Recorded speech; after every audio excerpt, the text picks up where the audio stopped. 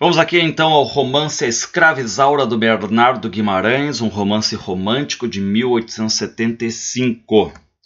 Bom, capítulo 1 eram nos primeiros anos do reinado do senhor Dom Pedro II. Então, ali pela década de 70, a cena se passa no município de Campos de Goitacazes, à margem do rio Paraíba. É uma linda fazenda, então uma fazenda gigante, cheia de mata dos lados Quase não se via aí muro, cerca, nem valado. Jardim, horta, pomar, pastagens e plantios circunvizinhos eram divididos por viçosas e verdejantes sebes de bambus, piteiras, espinheiros e gravatás. Então, a gente está em outubro, a, a cor local é, de praxe entre os românticos, algo bem descrito, mostra a natureza brasileira, ali tudo em perfeita tranquilidade, as aves, as ovelhas, as vaquinhas, os bois, mas a gente ouve o que? Um piano, um som do piano e uma cantoria de mulher. Voz melodiosa, suave, apaixonada e do timbre o mais puro e fresco que se pode imaginar. E aqui já vem a idealização. Reparem que a Isaura vai ser idealizada, ela que está no piano. E, e, mesmo sem dizer quem é, a gente já tem esses adjetivos primorosos aí. E a voz, ela vem de uma alma solitária, uma alma sofredora, como diz o texto, e ela está cantando uma canção que é assim, ó. Desde o berço respirando os ares da escravidão, como semente lançada em terra de maldição. A vida passo chorando minha triste condição. Os meus braços estão presos, a ninguém posso abraçar, nem meus lábios, nem meus olhos não podem de amor falar. Deu-me Deus um coração somente para penar. Ao ar livre das campinas, seu perfume exala a flor, canta a hora em liberdade do bosque o alado cantor. Só para a pobre cativa não há canções nem amor. Cala-te, pobre cativa, teus queixumes crimes são, e uma afronta esse canto que exprime tua aflição. A vida não te pertence, não é teu, teu coração. Bom, aqui é um canto de lamento, de tristeza, em que a gente anota o tema da escravidão. Então, ela está cantando ali o escravo, a questão sem ter voz, sem ter vez. A narração é em terceira pessoa. Achava-se ali sozinha, sentada ao piano, uma bela e nobre figura de moça, com cabelos negros, todas as linhas do corpo bem suaves. Quem é ela? A Isaura, ou melhor, a escrava Isaura. Vamos à descrição dela. E qual é o detalhe que já chama atenção? A tez, a pele é como o marfim do teclado, alva. Reparem que ela é a escrava branca. Tanto Enem quanto URGS já apontaram então o ideal dele, né, do, do autor, um caráter idealista uma visão distorcida da realidade aqui, tá? A tez é como o marfim do teclado, alva que não desumbra, embaçada por uma nuance delicada que não sabereis dizer se é leve, palidez ou cor de rosa desmaiada. O colo donoso e do mais puro lavor sustenta com graça inefável o busto maravilhoso. Reparem a linguagem adjetivada do romantismo, é um substantivo e um adjetivo, às vezes dois. Os cabelos soltos e fortemente ondulados se despenham caracolando pelos ombros em espessos e, e luzidios rolos, e como franjas negras escondiam quase completamente o dorso da cadeira a que se achava recostada. Ela se veste de modo simples, mas é muito bonita, reparem, né? E aí surge outra personagem agora, uma também mulher muito bonita, elegante, que é a Malvina, a riqueza e o primoroso esmero do trajar, o porte altivo e senhoril, o certo balanceio afetuoso e langoroso dos movimentos davam-lhe esse ar pretensioso. Reparem enquanto a gente tem uma pessoa mais humilde ali, que é Isaura, agora vem uma pessoa mais pretensiosa, que é a Malvina. E a Malvina é a esposa do Leôncio, e o Leôncio é o senhor de tudo aquilo, certo? É o, é o marido da Malvina e senhor, dono da Isaura, já que escravos pertencem a alguém. E quem é que essa Malvina aí? Era linda, encantadora mesmo, e posto que vaidosa de sua formosura e alta posição, transluzia-lhe nos grandes e meigos olhos azuis toda a nativa bondade de seu coração. Então aponta aqui a Malvina como uma pessoa bondosa, digamos assim. E o que que diz, né? Uh, que ela vai se aproximar então ali da, da Isaura, uh, pede para Isaura continuar a cantar, diz que a Isaura tem uma voz muito bonita e, e, não sabe, não entende porque a Isaura, tendo uma voz bonita, tocando ali piano e tudo mais, gosta de cantar uma cantiga triste, que é o sofrimento dos escravos, sem TV, sem ter voz. E aí o que, que diz a Isaura? Eu gosto dela porque acho-a bonita e porque, ah, não devo falar. Fala, Isaura, já não te disse que não deve me temer, não deve esconder nada de mim, nada recear de mim. Porque me faz lembrar de minha mãe, que eu não conheci. Coitada. Então aqui a gente já vai entrando na narrativa, porque a, a, a Isaura ela diz que não vai mais cantar, então esta música se a Malvina não gosta. Mas a Malvina diz né, que uh, se a Isaura cantar essa música, vão pensar que a Isaura é maltratada ali, que é uma escrava infeliz. E, e a Malvina diz que a, a Isaura está passando ali uma vida cheia de regalias, tem educação, toca piano, está na sala principal, é formosa. E tens uma cor linda, que ninguém dirá que gira em tuas veias uma só gota de sangue africano. Repare então, haveria essa possibilidade aí de colocar né, a primeira personagem negra agora como protagonista, e aí branquearam a Isaura. Isso é importante saber. O que, que diz a Malvina? Bem sabes quanto minha boa sogra, antes de morrer, te recomendava a mim e a meu marido. Então, foi uma pessoa que teve bom currículo. Hei de respeitar sempre as recomendações daquela santa mulher, que era minha sogra, e tu bem vês, sou mais tua amiga do que tua senhora, mais eu sou tua amiga do que a tua dona. E aí, de novo, a questão, então, lembrando da brancura da Isaura, e a Mavina diz, então, Isaura não canta mais essa cantiga triste e tudo mais. E, e, só que a Isaura vai lamentar, né? Do que, que adianta a beleza dela, a educação dela, se ela ainda é uma escrava? E aí a Malvina pergunta, né, se ela está se queixando de alguma coisa, ou seja, se queixando do que tem. E aí a Isaura diz que não, né? E aí a Malvina uh, ela acaba perguntando se ela tem algum amor, algum amado, algum namorado, enfim, né? Mas a Isaura diz que não. Está muito enganada, estou longe de pensar nisso. E a Malvina diz né, que a Isaura tem uma beleza que não é só para encantar escravo, mas ela pode encantar qualquer outro sem ser escravo. Mas não te aflijas, minha Isaura. Eu te protesto que amanhã mesmo terás a tua liberdade. Olha o que promete a Malvina. Deixa o Leôncio, meu marido, chegar. É uma vergonha que uma rapariga como tu se veja ainda na condição de escrava. A, a, a Isaura diz: Deixa disso, senhora. Eu não penso em amores e muito menos em liberdade. Às vezes fico triste à toa, sem motivo nenhum. Não importa, diz a Malvina. Sou eu quem quero que sejas livre e hás de ser livre. Bom, a conversa entre as duas vai terminar porque chegam alguns homens a partir de agora e a gente vai entrar no capítulo 2. Diz assim, né? Uh, antes de irmos, irmos adiante, forçoso nos é travar conhecimento mais íntimo com os dois jovens cavaleiros que chegaram. Bom, esses dois cavaleiros aí é o Leôncio, o marido da Malvina, que vai ser o vilão, e o Henrique, que é o irmão da Malvina. E, e, reparem como o, o, narrador em terceira pessoa é muito próximo, é um narrador muito característico desse século XIX. Leôncio era filho único do rico e magnífico comendador Almeida, proprietário da bela e suntuosa fazenda em que nos achamos, e que depois a gente fica sabendo né, que ao morrer deixa tudo para o filho que é o Leôncio. Então Leôncio aí herda tudo. Só que esse comendador aí, ele tá velho e doente, e aí a Malvina, então a gente vai ter agora uns flashbacks, né, enfim, para explicar. Aí a, a, Malvina e o Leôncio se casaram um ano antes de começar a história ali, antes de, digamos, entrar com a Isaura tocando piano. Eles se casaram, já estão um, um ano casados. E o comendador, ele meio quando o Leôncio casou, ele abandonou, abandonou a administração da fazenda. E ele vive lá na corte, no Rio. E aí, agora a gente vai saber mais do Leôncio, que é o vilão da história.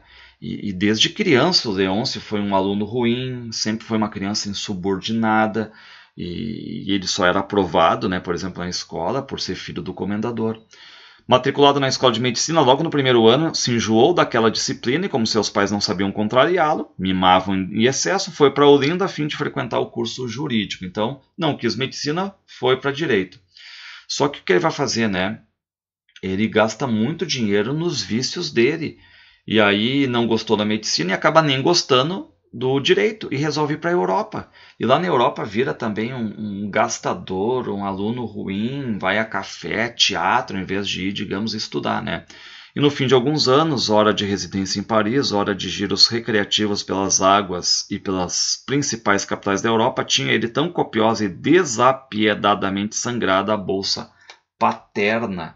Ou seja, ele está gastando toda a grana do pai, do comendador, não é bom aluno, é gastador, ou seja, já é pintado com as cores ruins aqui.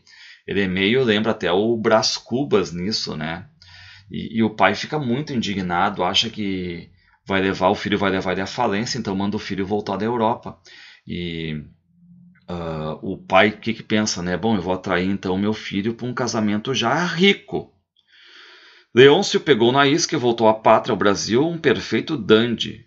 Cavaleiro, gentil e elegante como ninguém, trazendo suas viagens, em vez de conhecimentos, e estudo, enorme dose de fatuidade e petulância e um tão perfeito traquejo da alta sociedade que o tomaríeis por um príncipe. Então ele volta prepotente, enfim, né, dentro de uma posição alta, mas não foi para aquilo que foi mandado. Então ele vem com o cérebro, digamos assim, vazio, né? Só que a alma corrompida. Então ele já é um, um homem que fica estragado pela questão toda da devassidão, da libertinagem. E o lado do, dele bom vai se apagando e o lado ruim dele vai surgindo agora. Então ele voltou da Europa com 25 anos. Uh, e o pai censura que não é para o filho gastar dinheiro, mas sim fazer dinheiro. Depois de muita hesitação, Leôncio optou, enfim, pela carreira do comércio, que lhe pareceu ser a mais independente e segura de todas. Nem medicina, nem direito, vai fazer comércio. Mas também não gosta, né? Enfim, parece meio, meio vagal nesse sentido. Queria entrar no comércio de importação e exportação de gêneros, mesmo em larga escala, o próprio tráfico de africanos. Lhe pareciam especulações degradantes impróprias da sua alta posição e esmerada educação. Só lhe convinham as altas especulações cambiais, as operações bancárias e transações em que jogasse com avultados capitais. Só assim poderia duplicar em pouco tempo a, a fortuna paterna. Mas qual é o detalhe? Ele quer investir em operação bancária, em transações, enfim. Só que o pai, o comendador, não quer investir dinheiro nisso. Então Leôncio viu que qual é a forma então de conseguir dinheiro era o casamento. Malvina, formosa filha de um riquíssimo negociante da corte, amigo do comendador, já estava destinada a Leôncio por comum acordo e aquiescência dos pais de ambos. Reparem que a questão do patriarcalismo, enfim, os pais decidindo o futuro dos filhos, né, quanto ao casamento. Só que aí o Leôncio e a Malvina vão um gostar do outro, vão casar, só que pouco tempo depois do casamento o Leôncio acaba perdendo a mãe e a mãe sofreu muito na mão do comendador, porque o comendador era aquele cara frio, aquele cara que traía muito.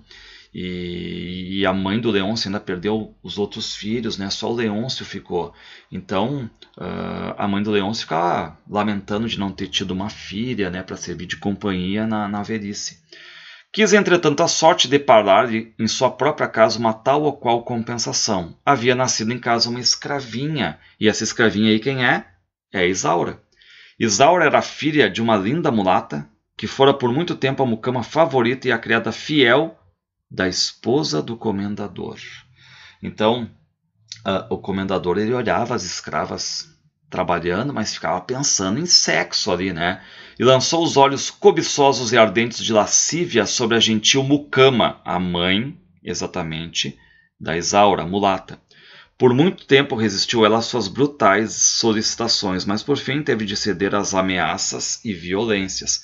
E aqui a gente tem né, essa questão toda aí da, do poder né, do, do dono de escravos sobre o escravo. Ou seja, a mãe da Isaura, essa mulata, essa mucama mulata, como diz, ela transa com o pai do Leôncio, o comendador. Só que a esposa descobre. E aí, claro, né, a mãe do Leôncio fica mal ali. O comendador não ousou mais empregar a violência contra a pobre escrava e nem tampouco conseguiu jamais por outro qualquer meio superar a invencível repugnância que lhe inspirava. Então o comendador resolve se vingar. Ela coloca essa mulata para fazer trabalhos, coloca ela para castigos Exilou-a da sala, onde apenas desempenhava levianos e dedicado, dedicados serviços para a senzala e os fragueiros trabalhos da roça, recomendando bem ao feitor que não lhe poupasse serviço nem castigo. Só que qual é o detalhe? O feitor era português, era jovem, e também ele olhou para essa mulata e ficou apaixonado por ela, né? seduzido por esses encantos aí. E o que ele fazia? Ao invés de ele fazer o que o pai do Leôncio disse para fazer, né, enfim, encher de trabalho e tudo mais, não, ele não, não fazia ela trabalhar muito, não batia nela e vai dando carinho, vai dando presente e acaba transando com ela. De maneira que daí a algum tempo a mulata deu à luz a, da vida a gentil escravinha de que falamos. Este fato veio a exacerbar ainda mais a sanha do comendador contra a mísera escrava. Expeliu com impropérios e ameaças o bom e fiel feitor, e sujeitou a mulata a tão rudes trabalhos e tão cruel tratamento que em breve a precipitou no túmulo, antes que pudesse acabar de criar sua tenra e mimosa filhinha. Bom, então a gente sabe né, como é que nasceu a Isaura. A Isaura nasce filha de um feitor, e quando o pai do leão fica sabendo que o feitor engravidou essa mulata, ele expulsa o feitor e larga, digamos, a, a essa mulata a trabalhos duros e ela vem a falecer. Então, esse é o contexto em que nasce a Isaura. Uh, mas, digamos assim, né, para indenizar o que ele fez, digamos, ele vai amparar a Isaura. Então, por isso que a Isaura está ali sendo tratada bem na casa, né? A mulher do comendador considerou aquela tenra e formosa cria como um mimo, então a mulher do comendador vai ficar próxima da Isaura. E aí acaba jurando, né, enfim, que ó, Vou cuidar sim, diz a mãe do Leôncio, vou cuidar do futuro da Isaura, vou educar Isaura como se fosse uma filha. E assim o cumpriu com mais religioso escrúpulo. Bom, então ela ensina né, a Isaura a ler, a escrever, a costurar. A Isaura vai saber música, francês, desenho. Reparem, né? Empenhou-se, enfim, dar à menina a mais esmerada e fina educação, como faria para com uma filha querida. O céu não quis dar-me uma filha de minhas entranhas, diz ela, costumava dizer, mas em compensação deu-me uma filha de minha alma. Bom, então a Isaura cresce sendo a boa com os escravos, submissa ali com os senhores, mas o comendador, o pai do Leôncio, não gosta disso, né? Do, dos caprichos dessa coisa desse, dessa educação que a esposa está dando para Isaura. E o comendador uh, dizia um dia, né, que olha, a Isaura vai aprontar, não é para ficar, enfim, né, bajulando e tudo mais. Poucos dias depois do casamento de Leôncio, o comendador, com toda a família, inclusive os dois, novo, no, os dois novos desposados, transportou-se de novo para a fazenda de Campos.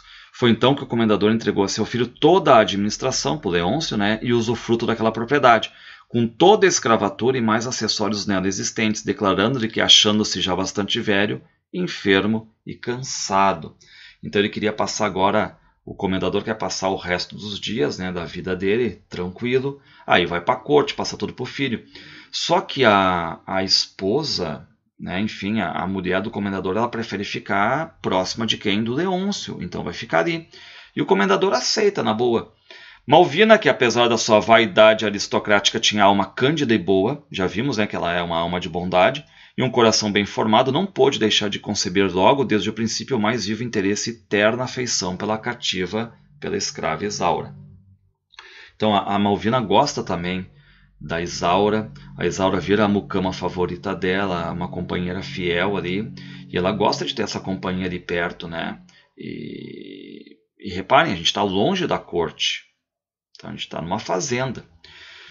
Por que razão não libertam esta menina? Dizia um dia Malvina a sogra. Uma tão boa e interessante criatura não nasceu para ser escrava. Bom, e aí o que, que diz né, a, a mãe do leão? Você tem razão, minha filha, respondeu bondosamente a velha. Mas que quer você? Não tenho ânimo de soltar este passarinho. E também libertada para quê? Ela aqui é livre.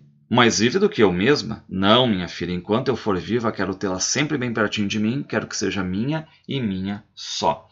E aí ela diz, né, ó, quando eu morrer, a Isaura pode ser livre. Só que qual é o detalhe, né? O comendador, junto com Leôncio, eles vão sempre adiando o desejo da esposa, né? Enfim, da, da liberdade para Isaura. E, e, um dia a mãe tem um ataque de paralisia e acaba morrendo. E a Isaura fica muito triste, né? Ou seja, a Isaura não fica livre enquanto, né? Enfim, a, enquanto a mãe está viva, a Isaura não está livre certo? E a, e a mãe do se morre. Continua a ser escrava não já de uma boa e virtuosa senhora, mas de senhores caprichosos, devassos e cruéis. E aí o que vai acontecer? A gente vai para o capítulo 3. então a gente faz essa, esse grande flashback para explicar exatamente, né? Lembre que o capítulo 1 está terminando com a chegada de dois senhores, que é o Henrique e o Leôncio. Então a gente foi fazer um flashback gigante para contar como foi o nascimento da, quais circunstâncias do nascimento da Isaura, quem é o Leôncio. Só que agora falta-nos ainda conhecer mais de perto a Henrique, o cunhado do Leôncio. E é um cara bonito, elegante, uns 20 anos, vaidoso também, bom coração, ele estuda medicina. E ele está ali de férias, ele está visitando a irmã e ele vai passar alguns dias na fazenda. Só depois de casado, Leôncio começou a prestar atenção à extrema beleza e às graças incomparáveis de Isaura. Reparem que agora o Leôncio, casado, começa a olhar para escravas dele e ele vai meter então o olho na Isaura. E, e o Leôncio, lembrando, né, ele tem por esposa a Malvina, que é linda, que é bondosa, mas qual é o detalhe? Apesar de ter gostado dela, ele vai dizer que foi apenas um casamento de paixão e que aos poucos essa paixão está caindo. E agora ele vai mirar Isaura. Ele pensa na Isaura, ele sabe que é uma propriedade dele, né? E quando nenhum outro meio fosse eficaz, restava o emprego da violência para tomar Isaura. Leôncio era um digno herdeiro de todos os maus instintos e da brutal devassidão do pai, o comendador. Então reparem, né, o, o Leôncio é aquele herda do pai todos os defeitos. E aí o Leôncio fala de Isaura pro Henrique, fala da beleza dela, mas o Henrique não gosta disso, né? Pô, ele tá vendo? Só um pouquinho, meu, tu é casado com a minha irmã, isso é uma ofensa para minha irmã. E aí os dois, o Leôncio e o Henrique, vêm a Isaura ali. Então, que te parece, segredava Leôncio a seu cunhado, que te parece ela uma escrava desta ordem, não é um tesouro inapreciável?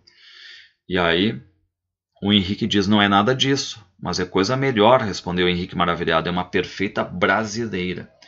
E a Isaura, agora ela tem 17 anos. Então é uma adolescente ainda. E o Leôncio fala para o Henrique que a Malvina quer libertar a Isaura. Mas nem tão tolo sou eu que me desfaço assim, sem mais nem menos de uma joia tão preciosa, diz ele. E qual é o detalhe? O pai da Isaura, aquele feitor e tudo mais, enfim, né? Chama-se Miguel. E, e ele anda tentando libertar Isaura. Só qual é o detalhe? O comendador tinha pedido um valor muito alto pela carta de alforria, pela carta de manumissão, né, pela liberdade. E aí o Henrique uh, diz para o Leôncio né, que por ele ser casado com a Malvina, uh, oh meu, tu não tem que ter uma escrava tão bonita aí perto, né? Pode ser que isso dê problema no casamento. Mas aí o Leôncio diz: Olha, mas quem gosta mais dela é a tua própria irmã, Malvina, que quer ela sempre por perto. E aí vem a Malvina. Uh, e a Malvina vem, lembra que ela já tinha falado com a Isaura que ela ia liberar a Isaura. E aí a Malvina fala para o Leôncio né, sobre a promessa aquela de liberar, de dar a carta de alforria para Isaura. E que quer a liberdade da Isaura ainda hoje. Só que o Leôncio ele começa a desconversar assim, né? E a Malvina diz: Ó, eu vou conversar contigo sério sobre isso. E aí os dois saem, os dois acabam saindo e o Henrique vai para perto da Isaura. E o Henrique já aproveita e dá em cima dela, né? Já que não está mais nem o Leôncio nem a Malvina ali. Diz ele, mulatinha, disse, tu não fazes ideia de quanto tu és feiticeira. Minha irmã tem razão, é uma pena que uma menina assim tão linda não seja mais do que uma escrava. Se tivesses nascido livre, serias incontestavelmente a rainha dos salões. E aí ela se solta da mão do Henrique, assim ela quer ir embora, ela não aceita, né, Isaura. Esperem de um pouco, não sejas assim má. Eu não te quero fazer mal algum. Oh, quanto eu daria para obter a tua liberdade, se com ela pudesse obter também o teu amor. Bom, e a Isaura acaba rebatendo, dizendo que ela é uma escrava e que ele pode achar, achar aí muita mulher bonita por aí, muita mulher bonita livre, não ela que é uma escrava. Não, ainda não vi nenhuma que te iguale, Isaura. Eu te juro, tu é a mais linda. Olha, Isaura, ninguém mais do que eu está nas circunstâncias de conseguir a tua liberdade. Sou capaz de obrigar Leôncio a te libertar, porque, se não me engano, já lhe adivinhei os planos e as intenções. Ou seja, o que, que diz Henrique? Eu já sei qual é o plano do Leôncio, as intenções para com a Isaura, e protesto-te que hei de burlá-los todos. E aí vai prometendo um monte de coisa para Isaura. Uh, promete uh, joia, carros, né, escravos, sedas, e a Isaura diz que é, é para ele guardar aquilo para outra mulher, não para ela. E diz: Me deixa em paz. E aí ele insiste, ele quer um beijo, né, mas ela se irrita. Já não bastava o senhor Leôncio em cima de mim, agora vem o senhor também. E isso, claro, né, ilumina o Henrique. O Henrique, como? O que estás dizendo também, o Leôncio? Oh, oh, bem o coração me estava adivinhando, que infame. Ou seja, ele já estava adivinhando os planos do Leôncio. Agora, com o que falou a Isaura, ele já chega, enfim, né, fica sabendo que o, Leôncio também corteja a Isaura, dá em cima dela. Mas aí o Henrique tenta de novo agarrar a Isaura e na hora chega o Leôncio, que vê aquilo ali. Bravo, muito bem, senhor meu cunhado, continuou Leôncio no mesmo tom de mofa, de escárnio, né? Está pondo em prática belíssimamente as suas lições de moral. E aí o Henrique fica irritado, né? Mas ele acaba se acalmando e vai ironizar também o Leôncio. Creio que tu tem mais zelo por ela do que mesmo pelo respeito que se deve à sua casa e à sua mulher, pobre de minha irmã, hein? E aí diz que vai falar para a irmã, para Malvina. Adeus, senhor Leôncio, eu me retiro porque seria altamente inconveniente, indigno e ridículo da minha parte estar a disputar com o senhor por o amor de uma escrava. E agora o Leôncio sabe que o cunhado sabe que ele fica também ali em cima da Isaura, então ele fica preocupado. E agora vai ter meio que uma desavença entre os dois aqui, o, o Henrique e o Leôncio. Bom, a gente vai para o capítulo 4 agora. E o Leôncio ele vê a Isaura, repreende ela por estar ouvindo cantada do Henrique, né? E, e aí a Isaura responde: Ouço cantadas tanto como as suas, meu senhor, por não ter outro remédio. Uma escrava que ousasse olhar com amor para seus senhores merecia ser severamente castigada. E nas palavras dela já diz: não, não quero nada com ninguém. E aí ele pergunta se ela falou alguma coisa para Henrique, se ela deu a entender que gosta dele e tudo mais. Ela diz que não, jura que não falou nada, né? Enfim, e ok, né? E ele vai lá e pergunta, mas tu não falou nada de mim para ele também? Assim, não, não falei nada, né? Perdão, senhor, que culpa tenho eu de andarem a perseguir-me? Tens alguma razão. Estou vendo que me verei forçado a desterrar-te desta casa e a esconder-te em algum canto, onde não sejas tão vista e cobiçada. Bom, vamos ver aqui, né? O que, que o vilão, que é o Leôncio, ele quer? Ele quer esconder Isaura só porque ela é bonita, quer, enfim, né? Uh, manter ela sob o olhar dele somente, né? E o Leôncio não quer visto, ser visto, digamos assim, a sós. Ele quer uma descrição agora, ele está preocupado se o Henrique vai falar alguma coisa para a esposa, para Malvina, né, para a irmã.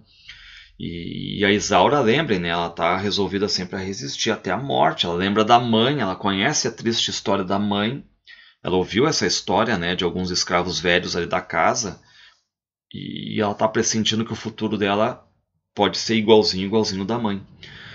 Revelar tudo a Malvina, o que está acontecendo, era o único meio que se lhe apresentava ao espírito para pôr fim às ousadias do seu marido e atalhar futuras desgraças. Só que a Isaura, ela gosta da Malvina e não quer trazer desgosto para Malvina. Preferia antes morrer como sua mãe, vítima das mais cruéis sevícias, do que ir por suas mãos lançar uma nuvem sinistra no céu até ali tão sereno e bonançoso de sua querida senhora. Então reparem, né? Ela está afim de até, enfim, se prejudicar do que ir atrás, né? E, e falar o que está acontecendo. E, e, o que está acontecendo é, também, paralelo a isso, é que o Miguel, o pai da Isaura, está interessado em libertar a filha mas ele é pobre, ele é um jornaleiro apenas. Bom, vamos aqui para o capítulo 5. Uh, a Isaura agora está sob a mira de dois, o Leôncio e o Henrique, quer se esconder dos dois, não quer mais ter tido, ver aquela presenciar aquelas cenas ali, né? Mas aí vem um homem, que quem é esse homem? O Belchior, um personagem muito feio aqui da literatura, né? O Belchior, e começa a olhar para Isaura de uma forma assim muito insistente.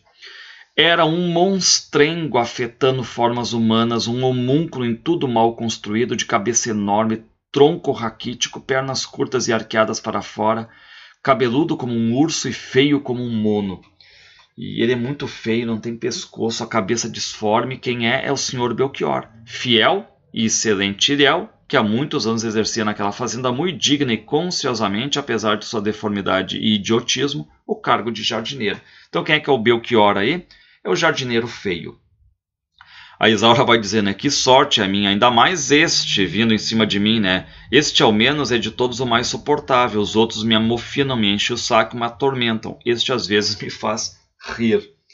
Uh, e aí o, o Belchior diz, né? Tem um português meio torto, assim, digamos, né? Ele diz assim: Vinha trazer-lhe estas flores, se bem que a senhora mesma é uma fro e aí a, ele brinca com ela, né? O Belchior diz que tem dinheiro para dar liberdade para ela, para se casar com a Isaura, mas a, a Isaura diz, né? Mas não adianta, né, Belchior, que os meus senhores não me libertam por dinheiro nenhum. E num primeiro momento a Isaura, claro, está levando uma brincadeira aquela declaração de amor do Belchior ali, mas o Belchior começa a falar mais sério. Ah, deveras que eles fazem isso? Que malvados! ter assim no cativeiro a rainha da germosura, português torto dele, né? Mas não importa, Isaura, terei mais gosto em ser escravo de uma escrava como tu do que em ser senhor dos senhores de cem mil cativos. Isaura, não fazes ideia de como te quero. Bom, e enquanto isso, né, o Henrique ele vai acabar uh, falando com a irmã Malvina, ele fala mal do Leôncio, chama ele de patife, a Malvina fica nervosa, assustada, mas ela pede para o irmão Henrique se acalmar. E ele não falou o que está acontecendo, mas ele deixa meio que no ar. E aí vem o Leôncio. E aí, claro, eles começam a tomar café. A Malvina nem olha muito pro marido. O Henrique e a Malvina saem, os irmãos saem. Enquanto isso, o Belchior tá quase ajoelhado lá nos pés da Isaura. E a Malvina, né, uh, chega, né, enfim, manda o, o Belchior se levantar, se retirar dali. E o Leôncio também tá ali, né? E, e o Leôncio meio que vem e dá uma espécie assim de quase que cantada para Isaura, só que ele não tá olhando ali a Malvina, digamos, né? Isaura, homem Isaura, exclamou Leôncio saindo da alcova, avançando com os braços abertos para ela. Só que no meio do caminho ele tá vendo a Malvina chegando ali, né, junto com o Henrique, e ele meio que para no caminho. E aí ele fica furioso com o Henrique. A Malvina se liga, claro, né? Vê que o marido tá afim da, da, da Isaura. Isaura tem resistido em menos de uma hora a três abordagens consecutivas. Isaura, tendo resistido em menos de uma hora a três abordagens consecutivas, dirigidas contra o seu pudor e isenção, ou seja, Leôncio, Belchior e Henrique, aturdida, cheia de susto, confusão e vergonha, correu a esconder-se entre os laranjais. Bom, e aí o Henrique ele sai a caçar e o Leôncio vai almoçar sozinho. A Malvina está indisposta. Claro que ela está assim por causa do marido, né, com a Isaura. Depois volta o Henrique. Enfim, a Malvina vai se queixar pro irmão. Não me fales nesse homem. Eu andava iludida pelo meu marido. Agora vejo que andava pior do que sozinha na companhia de um perverso. Ainda bem, irmã, que tu presenciaste com teus próprios olhos o que eu não tinha ânimo de dizer-te. Uh, e aí ela quer falar com Leôncio agora, mas ela meio que tem medo dele. E aí o, o, Henrique vai junto. E o Henrique diz que vai junto e não vai deixar o Leôncio desrespeitar né, ela. Capítulo 6. Malvina vai até o, o, o Leôncio né, e vai para cima. Quero dizer que o Senhor me insulta e me atraiçoa em sua casa da maneira mais indigna e desleal. E aí o Leôncio se faz de louco, né? Assim, ah, o que tá me falando? Não fiz nada demais, o que está acontecendo, né? E o Leôncio, né, pergunta por que está me tratando assim, né? Ó oh, meu coração, pois queiras que durasse eternamente a lua de mel? Isso seria horrivelmente monótono e prosaico, diz ele. E ainda me e ainda escarne, escarneces infame. Então, entre eles, né, ela fica ali indignada, pede explicação, ele diz que não tem nada, que então a Malvina exige, né, que o Leôncio dê um destino para Isaura. Liberte-a, Venda Isaura, faça o que quiser, ou eu ou ela havemos de abandonar para sempre esta casa, e isto hoje mesmo. E aí, né, ela diz que é para hoje. E o Leôncio diz que isso é coisa não para ele, mas ó, isso é coisa para o meu pai decidir. Não, eu não posso fazer nada, meu pai que vai decidir. Que miserável desculpa, senhor. Seu pai já lhe entregou escravos e fazendas, já deu tudo na tua mão e dará por bem feito tudo quanto o senhor fizer. E aí a Malvina diz né, que a Isaura é muito bonita mesmo, certo? E, o Henrique está ali apoiando a irmã, e a Malvina diz que é para o Leôncio se decidir. Uh, mas aí o que ele diz? Vai lá e se entenda com meu pai. O meu pai está lá na corte. O meu pai não tem nenhuma vontade de libertar a Isaura. E, e aí falam né, do pai da Isaura. Uh, o pai da Isaura quer libertar. E aí como é que fica? O pai da Isaura quer libertar a filha. E de repente surge quem? O Miguel, que é o pai da Isaura. O visitante era Miguel, o antigo feitor da fazenda, o pai de Isaura, que havia sido outrora grosseiramente despedido pelo pai de Leôncio. E aí o, Miguel diz que vem tratar de um negócio e tem que ser com o pai do Leôncio, né? Mas como ele não tá, ele quer falar com o Leôncio mesmo. E aí o Miguel pega a carteira e mostra uma grana. E esse dinheiro é a quantia que foi exigida pelo pai do Leôncio para libertar Isaura. E aí o Leôncio vai contando cédula por cédula, vai ganhando tempo, vai pensando no que ele vai dizer, né? Aproveitemo-nos do ensejo para completar a figura do bom e honrado português, pai da nossa heroína, de quem ainda não nos ocupamos, senão de passagem. Quem era Miguel era um homem de mais de 50 anos, em sua fisionomia nobre e alerta transpirava a fraqueza, a franqueza, a bononia e a lealdade. Então, aqui a questão da descrição do personagem. Miguel é um cara leal, educado, pai da Isaura, era um bom feitor, seus pais, vítimas de perseguições políticas, morreram sem ter nada que legar ao filho, que deixaram na idade de 18 a 20 anos. Sozinho, sem meios e sem proteção, viu-se forçado a viver o trabalho de seus braços, metendo-se a jardineiro e horticultor, mister serviço este, como filho de lavrador, robusto, ativo e inteligente, desempenhava com suma perícia e perfeição. Então ele era jardineiro antes, enfim, né, um cara muito bom no seu serviço.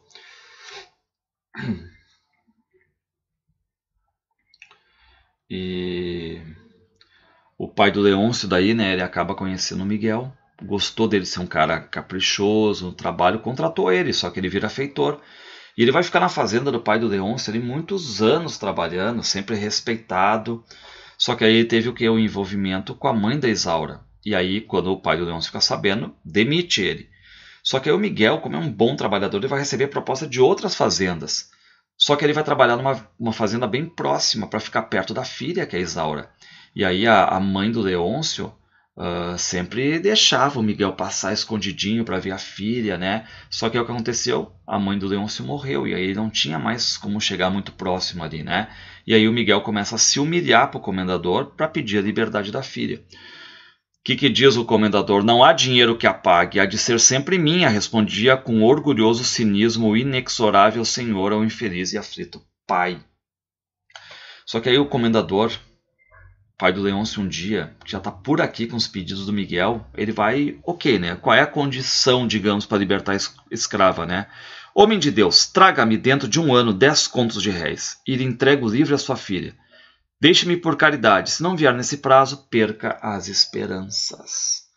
Dez contos de reis é soma demasiado forte para mim, mas não importa, ela vale muito mais do que isso. Bom, então ele diz né, para o comendador que vai ser difícil conseguir esse dinheiro por uma escrava, mas ele vai à luta, ele trabalha demais, e um ano ele só consegue metade desse dinheiro. Só que ali, no novo patrão, para quem está trabalhando, ele vai pedir emprestado, vai conseguir esse dinheiro que falta. Leôncio, que, como seu pai julgava impossível que Miguel em um ano pudesse arranjar tão considerável soma, ficou atônito e altamente contrariado quando o Miguel mostrou né, o dinheiro. Dez contos, disse por fim Leôncio, acabando de contar o dinheiro. E aí o Leôncio diz, né? Oh, aguarde por hora seu dinheiro, Miguel. A Isaura não me pertence. Só meu pai pode se dispor dela. Meu pai se acha na corte, no Rio, e não deixou autorização alguma para tratar de semelhante negócio. Arranje-se com ele. E. O que, que, ele vai dizer, né? O, o Miguel uh, chega e diz: Mas só um pouquinho. Se tu é o herdeiro único, né? Tu pode ver isso. Mas aí o Leão fica irritado. Ó, oh, meu pai ainda está vivo, é ele que manda. Isso é um desrespeito para com meu pai, digamos assim, né? E aí o Miguel pede para o Leôncio né, uh, enviar então dinheiro para o pai. E aí a Malvina se intromete, né? E diz assim, o Leôncio, escreve para o teu pai aí. E o Leôncio ele meio que está coado agora, né? E está pressionado pela mulher. Então ele vai lá e escreve. Só que aí vem a Isaura e vê o pai, o Miguel, né? E aí diz: Meu pai, que novidade o traz aqui? E o pai diz: Ó, trata-se da tua liberdade. Comprei-te, minha filha, e em breve vai ser minha. Ó meu querido pai, como vosso é bom para sua filha. Só que a Isaura pergunta, né? Mas o Leôncio concordou, pai? E aí o, o, o pai diz, ah, isso é coisa com o pai dele, o comendador. E aí o que ela diz, ó, nesse caso eu tenho alguma esperança, mas se minha sorte depender somente daquele homem, do Leôncio, serei para sempre escrava. E aí a Malvina pergunta, Leôncio já foi escrever a carta? E o Leôncio, antes de responder, vem, chega aí um pajem, né? Ele entra pela sala, ele está vestido de preto, entrega uma carta. E a carta o que, que diz? Leôncio, tenho a dar-te uma dolorosa notícia para a qual teu coração não podia estar preparado, e um golpe pelo qual todos nós temos de passar inevitavelmente e que deve suportar com resignação. Teu pai já não existe. Sucumbiu anteontem subitamente vítima de uma congestão cerebral. Bom, todos começam a chorar ali, né, pela morte do comendador. Uh, a Isaura também fica muito triste, né, mas o pai, o Miguel, vai consolar. Não desanimemos, grande é o poder de Deus. Bom, a gente chega agora né, no capítulo 7 e diz que na fazenda de Leôncio havia um grande salão toscamente construído sem forro nem soalho, destinado ao trabalho das escravas que se ocupavam em fiar e tecer lã e algodão. Eram de 20 a 30 negras, crioulas e mulatas, com suas tenras crias ao colo ou pelo chão a brincarem em redor delas. Então a gente tem ali né, todas as idades reunidas Reparem, né, desde a velha africana, trombuda e macilenta, até a roliça e luzidia crioula, desde a negra brunida como azeviche até a mulata quase branca. Bom, e, e tem uma mulher ali, né, como diz o texto, uh, uma rapariga, né, que é a Rosa, é uma escrava mais velha, uh, e ela acaba falando, né, agora que o, o comendador morreu, o pai do Leôncio morreu, Agora a coisa vai ser mais difícil ali, vai ser mais rigorosa por causa do Leôncio. E tem até uma escrava ali chamada Joaquina, e, e elas estão achando que naquele local ali elas estão mais protegidas, né?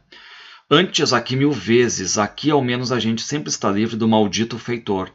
Qual, minha gente, ponderou a velha crioula. Tudo é cativeiro, tudo é prisão. Quem teve a desgraça de nascer cativo de um mau senhor, Dê por aqui, dê por acolá, de penar sempre. Cativeiro é macina. Não foi Deus que botou no mundo semelhante coisa, não. Foi invenção do diabo.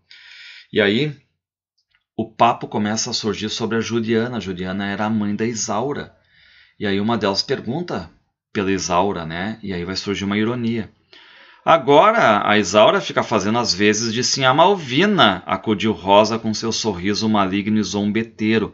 Ou seja, ela nas palavras ela diz que ela está sendo a esposa, digamos, do Leôncio, né? E a outra não gostou disso aí, disse assim: Cala a boca, menina, bradou com voz severa a velha crioula. Deixa dessas falas, coitada da Isaura. Então a Rosa aqui é meio que a escrava fofoqueira, zombeteira, né? Juliana era uma rapariga de brio e por isso teve de penar até morrer, a mãe da Isaura. Nesse tempo o feitor era esse senhor Miguel, que anda aí, que é pai da Isaura. Isso é que era feitor bom, todo mundo queria ir bem e tudo andava direito, mas esse senhor Francisco, que aí anda agora, cruz nele, né? Enfim, cruz nele, um cara ruim. Bom, então a gente fica sabendo pelo papo das escravas que o Miguel gostava muito da Juliana, uh, que o Miguel era um cara bom e tudo mais, e que trabalhou para juntar dinheiro e alforriar a Juliana para ficar com ela. Mas o comendador, o pai do Leão, ficou brabo e demitiu Miguel, o feitor. Então a gente fica sabendo de outros detalhes, né? E depois morreu a Juliana, a Isaura ficou ali, né? Uh, e aí dizem, né, que uh, entre as escravas aí que a Isaura, o melhor para a Isaura era ter morrido, porque ela vai ter o mesmo azar da mãe, como já tinha, digamos assim, a Isaura previsto, né? E, e a gente também sabe que essa Rosa aí, ela tem inveja da, da Isaura. E o que mais merece aquela impostora murmurou invejosa e malévola Rosa. Pensa que por estar servindo na sala é melhor do que as outras e não faz caso de ninguém? Deu agora em namorar os moços brancos. E reparem que ela está falando é mentira, porque a Isaura não está com ninguém, nem quer ninguém. E aí vem o feitor, que é esse cara repulsivo, duro, agressivo, né? Ele vem acompanhado por um cara novo ali. E logo depois entra a Isaura. A Isaura está indo para lá agora. E aí as escravas elas tomam a benção ao feitor, o feitor manda colocar Isaura na roda ali, né, perto da rosa para trabalhar e diz, ó, a partir de agora aqui é o teu lugar de trabalho.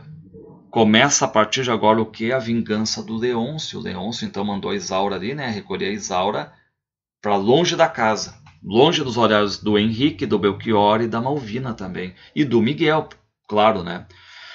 Sem se mostrar contrariada nem humilhada com a nova ocupação que lhe davam, Isaura foi sentar-se junto à roda e pôs-se a preparar para dar começo ao trabalho. E qual é o detalhe? Isaura, ela sabe tudo sobre os trabalhos. Ela, enfim, ela é totalmente educada naquilo ali.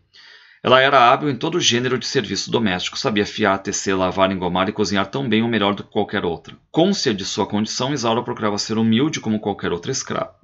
Escrava, porque, a despeito de sua rara beleza e dos seus dotes de espírito, os fumos da vaidade não lhe entumeciam o coração. Então ela tem ciência de que é linda, maravilhosa, uh, que sabe tudo ali e tudo mais, mas sempre humilde. Então, uh, mesmo assim, sem ela querer ficar ali, né? Ela fica, né? E ela é muito acima das outras escravas na questão da beleza, da nobreza, da educação. Ninguém diria que ela era uma escrava, que trabalhava entre as companheiras e a tomaria antes por uma senhora moça que, por desenfado, fiava entre as escravas. Repare aqui, né? Quem abrisse ali a porta e visse todas trabalhando e olhar para Isaura e dizer: Olha, é uma moça ali que está entre as escravas, não é escrava. E todo mundo gosta da Isaura, menos a Rosa, né? A gente sabe por quê, né?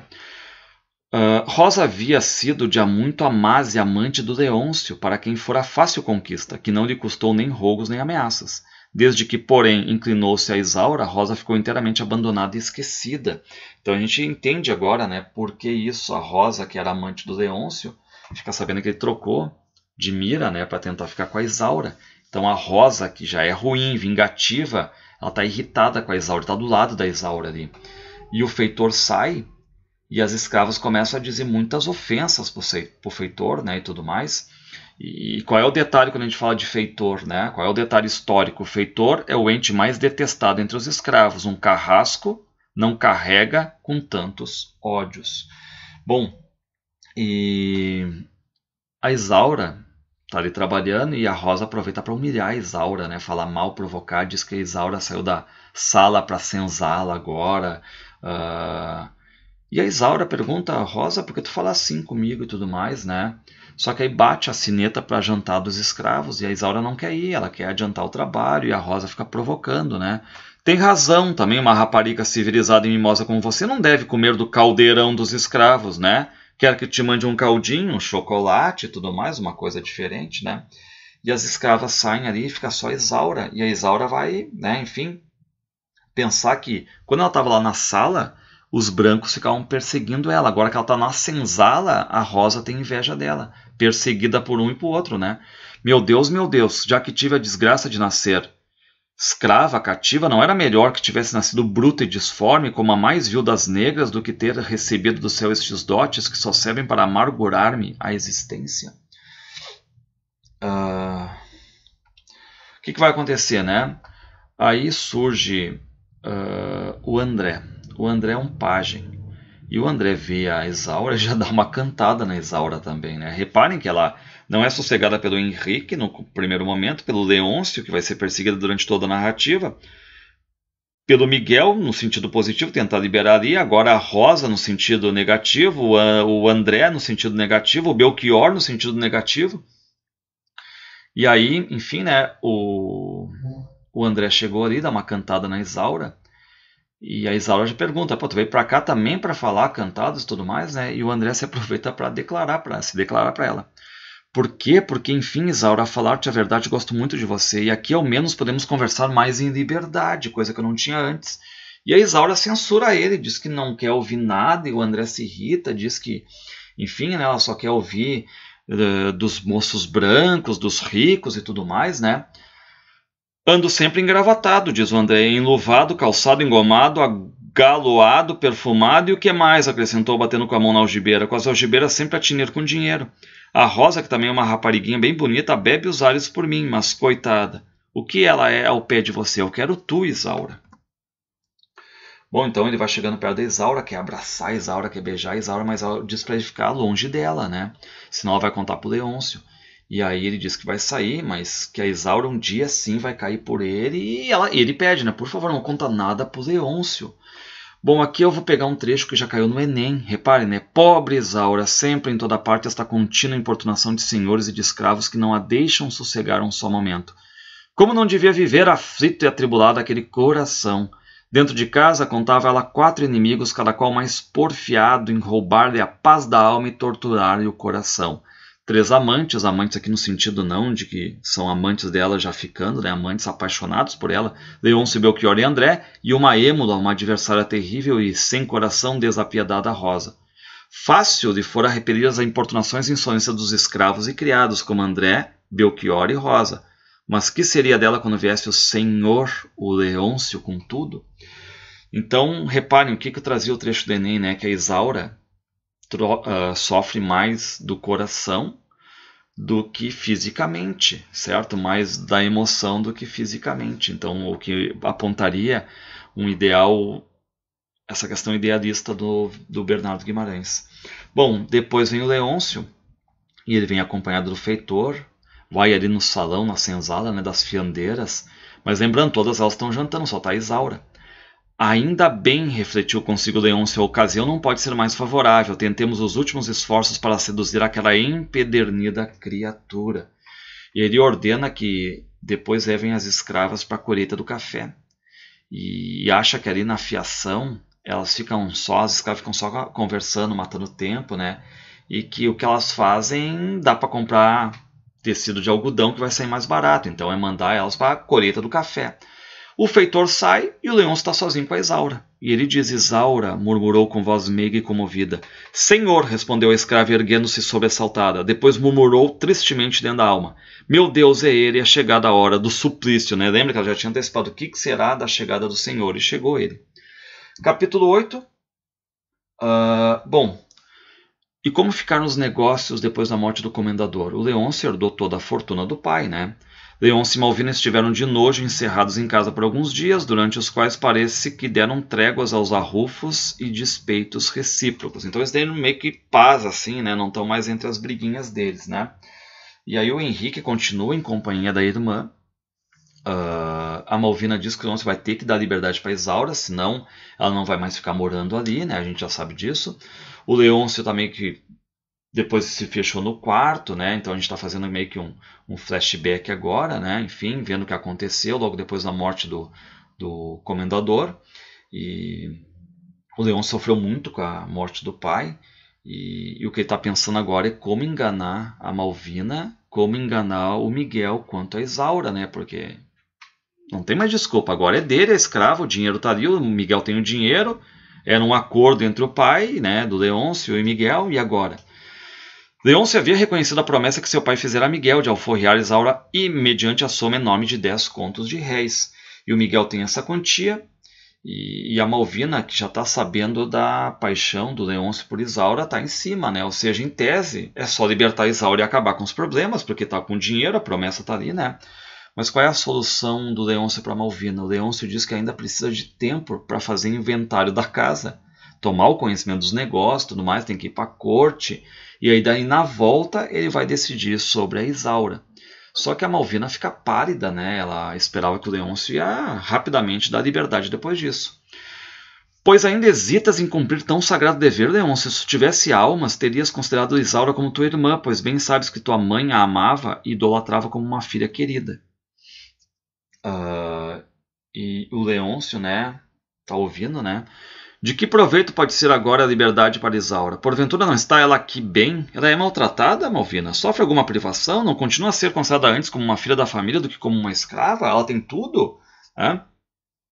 E aí o, ele diz que primeiro ele vai conseguir uma posição decente para Isaura, vai procurar um bom marido para ela. Só que a Malvina acha que tudo é desculpa esfarrapada, que ela tem o pai, o pai protege ela. E a Malvina está triste, mas ainda assim ela acredita no marido, né? Acredita no Leôncio. Só que ela sabe que não dá mais para prolongar aquilo, porque ia dar problema no casamento, como já está dando. E aí no outro dia a Malvina vai lá, vai de novo em cima do Leôncio, o Leôncio responde as mesmas coisas, né? Malvina desta vez não pôde conter-se, rompeu-se com o marido. E aí Malvina sai de casa, vai em companhia do Henrique, eles vão para o Rio de Janeiro, ela não quer mais saber do Leôncio. E o Leôncio fica meio que indiferente, a esposa tá cagando para ela, né? E agora tem um caminho livre para investir contra a Isaura. Só que a Isaura está triste, uh, perdeu todas as esperanças de ficar livre né, após a morte do pai do Leôncio, e agora uh, só tinha duas pessoas que estavam ali por ela, que era o pai e a Malvina, e a Malvina agora saiu.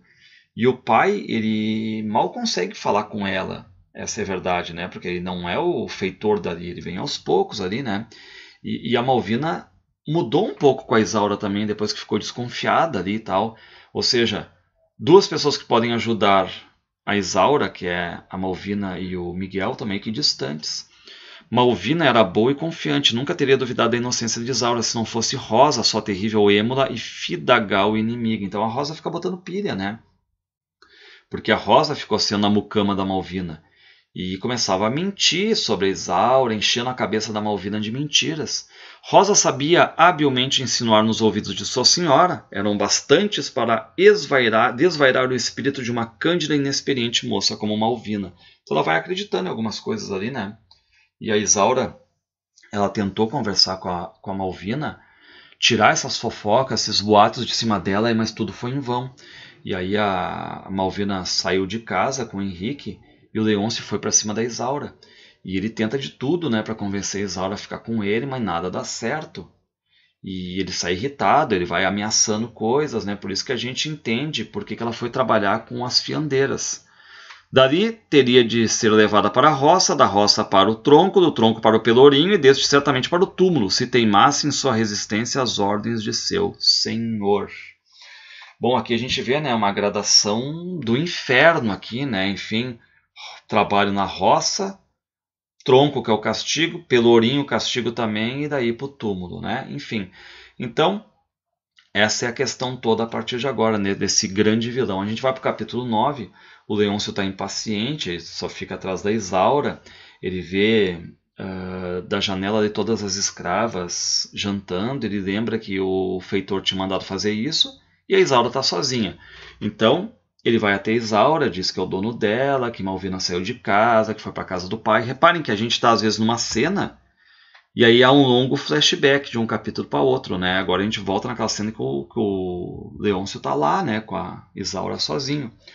Diz ele, ó, sou eu, pois, que hoje unicamente governo nesta casa e disponho do teu destino, Isaura.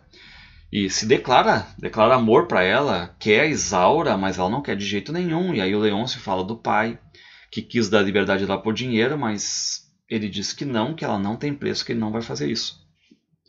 Mas Isaura, o meu amor por ti é imenso, e eu não posso, eu não devo abandonar-te ao mundo. Perdão, Senhor, eu não posso compreendê-lo. Diz-me que sou livre, e não permite que eu vá para onde quiser, e nem ao menos que eu disponha livremente do meu coração.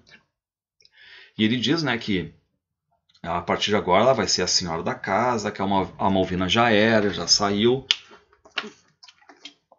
e a Isaura diz: Meu senhor, perdoe-me se lhe fala com franqueza, abandonar uma mulher bonita, fiel e virtuosa, como era Malvina, como é a Malvina, por amor de uma pobre escrava como eu, seria a mais feia das ingratidões. De minha parte não vai rolar. E reparem que aí o Leôncio fica brabo, diz que vai fazer ela mulher do pior escravo, né?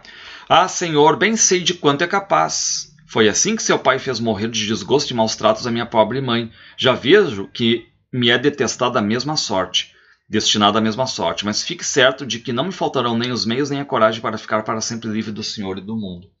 E aí chega o André, que é o pajem, né? Traz-me já aqui um tronco de pés e algemas com cadeado, André. Virgem Santa, murmurou consigo André espantado. Para que será tudo isto? Ah, aí ele vê, né? Pobre Isaura. E aí a Isaura se ajoelha, implora que não é para fazer isso, diz para dar os piores trabalhos para ela, mas não fazer, colocá-la no tronco, né? E o André traz o tronco, uh, traz algemas, e aí diz: Nada mais tenho a dizer-te. Deixo-te livre ainda e fica-te o resto do dia para refletires, Isaura. Tem de escolher entre o meu amor e o meu ódio. Qualquer dos dois, tu bem sabes, são violentos e poderosos. Adeus. Bom, e aí Isaura reza clama, né? Ela tá sem saída e de repente surge o Miguel, o pai da Isaura. E aí Isaura aponta pro tronco. Não sei se já ouviram falar no tronco. Deem uma olhada em cenas do filme Menino de Engenho. Tem um escravo que vai pro tronco, né? Então coloca os tornozelos ali entre dois buracos e tu fecha a cadeado aquilo ali. E tu fica ali, deitado, uma posição incômoda.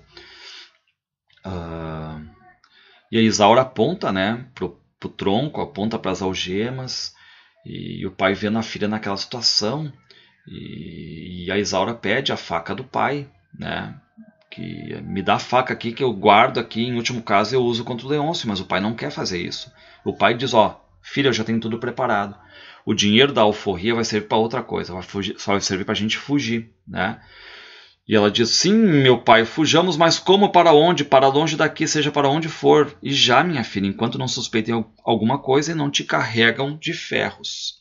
Então agora a gente tem uma nova notícia, né? Ou seja, essa questão toda aí da fuga. E a Isaura, ela tem medo, né? Os escravos ali tudo mais estão na roça, o feitor está fora, o Leôncio saiu com o André. Então é a situação boa para aproveitar a ocasião. E o, o Miguel deixou uma canoa ali no rio já preparada. Tu sairás primeiro e irás lá ter por dentro do quintal. Eu sairei por fora alguns instantes, depois lá nos encontraremos. Em menos de uma hora estaremos em Campos onde nos espera um navio, de que é capitão um amigo meu e que tem de seguir viagem para o norte nesta madrugada. Então eles vão, né? Bom, capítulo 10 já são passados mais de dois meses depois da fuga de Isaura. Então a fuga aconteceu. E agora, leitores, enquanto se emprega diligências extraordinárias e meios extremos e desatando os cordões da bolsa, põe em atividade a polícia e uma multidão de agentes particulares para empolgar de novo a presa. Reparem que o Leôncio não se dá por vencido nessa fuga, né? Chama a polícia, agentes particulares para localizar ela e para onde ela fugiu? Para uma província do norte. A gente vai estar no Recife agora, né? E o que, que diz ali? É noite e a formosa Veneza da América do Sul, coroada de um diadema de luzes, parece surgir dos braços do oceano. Bom, então a gente vai dar um pulo agora. Reparem que não chegou ainda o herói da narrativa. O herói ainda no capítulo 10 não chegou ainda, vai chegar. Uh, tem uma noite ali festiva, né? Faz dois meses que ela está fugida. Tem muitos cavaleiros, muitas damas, né? os estudantes ricos e tudo mais. A gente está em Olinda. Uh, e aí a gente entra num salão ali de baile. E repare né, que só agora vai aparecer o Álvaro. E o Álvaro é o nosso herói. E o Álvaro começa a falar de uma mulher muito linda, que é a Isaura, né? É a mais uma estrela que vem brilhar nos salões de Recife, dizia Álvaro e dar lustre aos nossos saraus. Não há ainda três meses que chegou a esta cidade e haverá pouco mais de um que a conheço, mas creia-me, Dr. Geraldo, ela é a criatura mais nobre e encantadora que tenho conhecido. Então reparem, a gente fica sabendo então, na verdade, já são três meses que ela chegou ali, de fuga, e o Álvaro conheceu ela já faz um mês e está interessado nela, né? Reparem que vai ter agora uma idealização. O que, que diz o Álvaro? Não é uma mulher, é uma fada, é um anjo, é uma deusa. E aí o Dr. Geraldo pergunta, né, mas...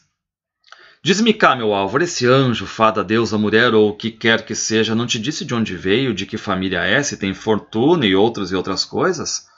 Pouco me importo com isso, diz o Álvaro, e poderia responder-te que veio do céu, que é da família dos anjos e que tem uma fortuna superior a todas as riquezas do mundo, uma alma pura, nobre, inteligente e uma beleza incomparável. Mas sempre te direi que o que sei de positivo a respeito dela é que veio do Rio Grande do Sul em companhia de seu pai, de quem ela é a única família, e tem o nome de Elvira. Bom, aqui a gente vai ter então esse uso de pseudônimos de nomes falsos, tá? Porque o, o, o que, que vai dizer a, a Isaura? A Isaura vai se apresentar como Elvira, não como Isaura, e o Miguel como Anselmo, não como Miguel. Então o Álvaro não sabe onde mora essa Elvira, né, que é a Isaura, o pseudônimo que ela está usando, o codinome, e diz que ela mora com o pai numa pequena chácara, enfim, vivem modestamente, aparecem pouco. E aí o Dr. Geraldo pergunta, né, uh, como então tu viu essa mulher? E ele diz um dia, né, que viu ela passar a cavalo por ali, ela estava sentada, mas ela meio que foge. E aí o Álvaro prometeu então que ia atrás dela, falar com ela, custe que custar, e começa a sondar a vizinhança, vê quem é o proprietário da chácara, né, ele fica sabendo que o, o pai da Elvira, né, da Isaura, paga ali o aluguel e tudo mais, e um dia o Álvaro vê que ela deixou cair o lenço. E aí ele pega, entrega e ela agradeceu rindo para ele. Esse lenço, Álvaro, atalhou um cavaleiro. De certo, ela o deixou cair de propósito para que pudesses vê-la de perto e falar com ela. E aí o Álvaro acha que não, de repente tal, né? Mas, enfim, né? Uh, diz que esgotou tudo uh, sem ter sucesso de conversar com ela. Mas um dia ele estava passeando por ali, vê um homem e uma mulher entrando num, num bote. E aí ele vai ajudar né, os dois a recolher essa canoa e reconhece quem? O pai dela e essa Elvira aí. Entretanto, é pura realidade. Como estavam molhados e enxovalhados, convidei-os a entrarem no meu carro. Aceitaram depois de muita relutância e dirigimos-nos para a casa deles. Bom, e aí o Álvaro uh, diz agora que ama muito essa Elvira, mas ele acha, claro, estranho esse afastamento deles da sociedade, acha um mistério, sempre escondidos. E aí os amigos que estão ali conversando com o Álvaro perguntam se eles não são fugitivos da polícia, se ela não tem jeito de ser prostituta, e o Álvaro diz, não, não, nem fugitivo nem prostituta, né? E, e já falou com ela, inclusive, para ela aparecer em público mais, né? Argumentos, instâncias, súplicas, tudo foi perdido. Pai e filha recusavam-se recusavam constantemente a aparecer em público, alegando mil diversos pretextos. Claro, estão sendo perseguidos e tem no jornal né, sobre a notícia da fuga de escravo. E aí o Álvaro diz né, que aquele modo de se esconder da sociedade diz para eles, ó, já está chamando a atenção de muitas pessoas, até a polícia já está de olho em vocês. Então vocês têm que frequentar a sociedade. E, e, isso dá resultado, porque agora o Anselmo ou Miguel e a Isaura ou Elvira estão indo para esse baile aí. Boa noite, senhor Anselmo. Boa noite, dona Elvira. Felizmente, eles aqui. Então eles chegam nesse baile. E aí o Álvaro conduz os dois, né, o pai e a filha, para uma sala.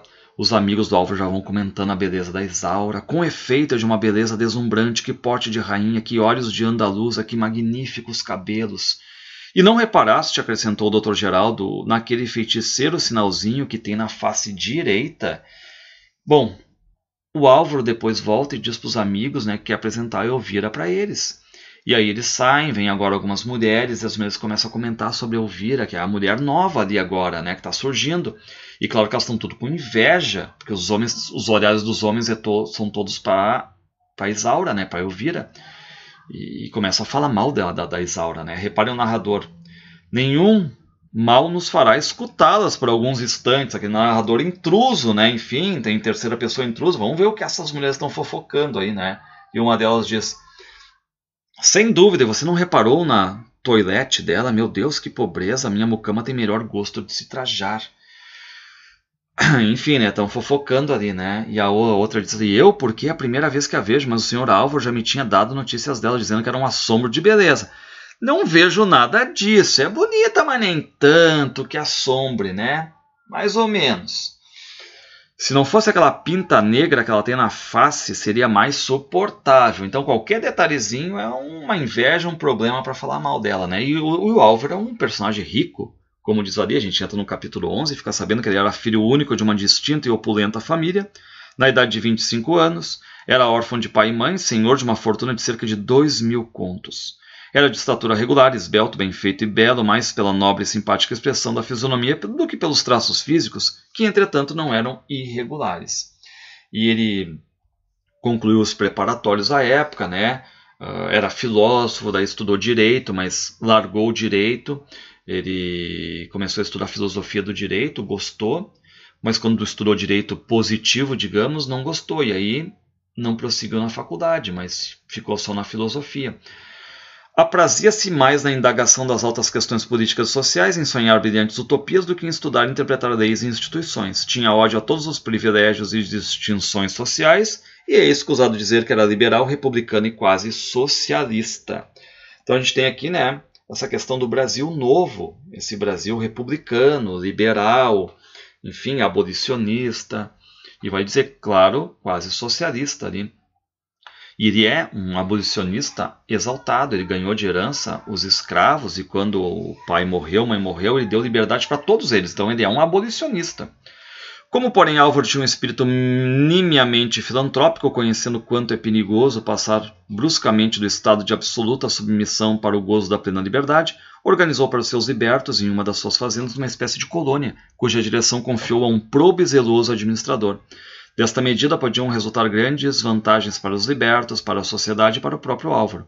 A fazenda lhes era dada para cultivar a título de arrendamento e eles, sujeitando-se a uma espécie de disciplina comum, não só preservavam-se de entregar-se à ociosidade, ao vício e ao crime, tinham segura subsistência e podiam adquirir algum pecúlio, algum dinheirinho, né? Tem esse lado todo aí, né, enfim, humanitário do Álvaro, mas também ele gosta do luxo, da elegância, das mulheres. Só que assim, não encontrou ainda o amor da vida dele. E o Geraldo, amigo dele, enfim, mais velho, 30 anos, era bacharel em direito, era advogado conceituado ali em Recife. E sempre tá dando conselhos para ele, né? E, e a Isaura tá nesse baile e ela não sabe o que tá fazendo, ali num sarau de ricos, né? Que vim eu aqui fazer, eu pobre escrava, no meio dos saraus dos ricos e dos fidalgos, este luxo, estas luzes, essas homenagens que me rodeiam, me perturbam os sentidos e causam-me vertigem. Ela está totalmente deslocada, é isso que ela está dizendo, né? Então ela pede para o pai para saírem dali, uh, mas o pai diz, não, se acalma, filha, ali ninguém vai desconfiar que tu é uma escrava, mas ela está se lamentando, aí vem o Álvaro, diz para ela ir brilhar no salão, mas ela não quer, né, que ela vai se sentir constrangida. E aí o Álvaro diz: Ah, então canta, Isaura. Mas ela não quer. Uh, mas não lhe era mais possível relutar, lembrando-se do judicioso conselho de seu pai, não quis mais ver-se rogada, e aceitando o braço de Álvaro que oferecia, foi por ele conduzida ao piano. Então ela vai para o piano a partir de agora, ela senta ali no piano, e claro, ela causa, enfim, curiosidade. Muitos homens, muitas mulheres vão ali. Álvaro, apesar de conhecer já a excelência da voz de Elvira e sua maestria no canto, não deixava de mostrar-se inquieto e comovido, mas Elvira amava a Álvaro. Reparem que a gente já tem uma paixão aqui, e, e, ela é grata a ele, né? Ela toca piano, depois que ela para, os aplausos são altos, todo mundo ali vendo que ela toca bem, e depois ela pega no braço do Álvaro e vão dançar. E no capítulo 12, a gente vai ter outro recuo agora, né? Olha o que diz o narrador em terceira pessoa. Agora os leitores já sabem, se é que há mais tempo não adivinharam, que a suposta Elvira não é mais do que a escrava Isaura, assim como Anselmo não passa do feitor Miguel, ambos os quais já são nossos conhecidos antigos, só que estão usando agora né, pseudônimos, né, uma explicação que não precisava, a gente já sabe. Só que o romantismo é assim, né, é um narrador que explica tudo. E, e, a gente já sabe que a Isaura também recebeu uma grande educação, toca piano, né? E o Miguel uh, conhecia o Leôncio, ele sabe que o Leôncio é capaz de tudo para resgatar a filha, a, a, escrava no caso, né? E aí o Miguel sabe que agiu errado ao fugir com a filha, mas é a única forma de ficar com a filha ali. Tentou de tudo, né? Fez denúncia para as autoridades, o papo sempre é que, ó, nós somos autoridades, nós não podemos fazer nada no que se passa no interior da casa dos ricos. Se os escravos são deles, eles mandam em ponto final, né? Uh, e qual a ideia? Onde se viu o pobre ter razão contra o rico, o fraco contra o forte? E o Miguel ainda tinha, né, algumas relações antigas escondidas com alguns escravos da fazenda do Leôncio e que tem um respeito pelo Miguel, que era um bom feitor. E agora a gente vai saber mais sobre a fuga. Na mesma madrugada que se seguiu à tarde, em que a raptou, fazia-se de vela com Isaura para as províncias do norte em um navio negreiro de que era capitão português antigo dedicado a amigo seu. Este, chegando às alturas de Pernambuco, como daí tinha de se ingrar para a costa da África, largou-os no Recife, prometendo-lhes que dentro de três ou quatro meses estaria de volta e pronto a conduzi-los para onde quisessem. Bom, e o Miguel, ele tinha poucas relações ali, né? E no tempo que ele era feitor, não tinha muita fuga. Por quê? Porque ele cuidava com carinho dos escravos ali. Portanto, não é para admirar que ele quase completamente ignorasse a amplitude dos direitos que tem um senhor sobre o escravo. Porque, como não fugiam, ele não, ele não sabia muito o que acontecia quando um escravo fugia. E os infinitos meios e recursos de que pode lançar mão para capturá-los em caso de fuga.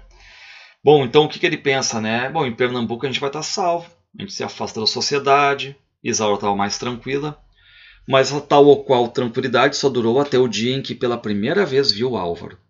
Amou, reparem que a Isaura amou Álvaro, com esse amor exaltado das almas elevadas que amam pela primeira e única vez. E esse amor, como bem se compreende, veio tornar ainda mais crítica e angustiosa sua já tão precária e mísera situação. Bom, então a Isaura ela é consciente do abismo que separa ela do Álvaro, né? E fica com medo de que ele vai descobrir toda a verdade, ela sendo uma escrava fugida e ele sendo um rico senhor. E, então ela não quer mentir para ele. E, e, ela acha até que se o Álvaro souber da história verdadeira, ele pode ajudar. Só que o Miguel, o pai, não acredita muito nisso. E quem nos afiança isso, filho? O mais certo é ele entregar-te ao desprezo, logo que saiba que tu não passas de uma escrava fugida, ele vai te abandonar. A lembrança de que em breve, talvez no dia seguinte, tinha de deixar aquela terra e separar-se de Álvaro, sem esperança alguma de jamais torná-lo a vê-lo, diracerava-lhe o coração. O coração de Isaura. A gente vai para o capítulo 13 agora. E diz assim: Não pense o leitor que já se acha terminado o baile a que estávamos assistindo. Vamos voltar um pouco, né? A pequena digressão que por fora dele fizemos no capítulo antecedente nos pareceu necessária para explicar por que conjunto de circunstâncias fatais a nossa heroína. Né? Bom, o baile continua, os aplausos ali, a Isaura tocando o piano, né, causa inveja nas mulheres. Os homens só querem saber quem é essa mulher, essa Elvira aí, né? E claro, né, que as mulheres estão ali olhando, né? As que achavam que iam conquistar Álvaro já estão saindo porque vê que o Álvaro tá para perto da Isaura, e a Isaura é uma mulher poderosa. Deixamos Isaura indo tomar parte uma quadrilha, uma dança, tendo Álvaro por seu par. Enquanto dançam, entremos em uma saleta onde há mesas de jogo e bufetes esguarnecidos de licoeiras, de garrafas de cerveja e champanhe. Então a gente vai entrar numa salinha agora e tem um homem ali, né? Enfim, cobiçador, ganancioso, que é um tal de Martinho. Estudava há 15 anos à sua própria custa, mantendo-se do rendimento de uma taverna de que era sócio capitalista, chamava-se Martinho. Então eles estão jogando cartas e querem que esse Martinho jogue, mas ele diz que tem coisa melhor a fazer, porque ele vai ganhar um dinheiro mais rápido. Ele puxa o quê? Um anúncio de escravo fugido. Foste acaso nomeado oficial de justiça ou capitão do mato? pergunta para ele. Não sei de que tanto se espantam, replicou Martinho. O que admira é que ainda não vissem este grande anúncio em avulso que veio do Rio de Janeiro e foi distribuído por toda a cidade com o Jornal do Comércio. Então está circulando ali uh, a notícia da fuga da Isaura, que o Leôncio mandou publicar e está pagando bastante. E aí vocês sabem que quem fazia esse serviço de captura são os capitães do mato.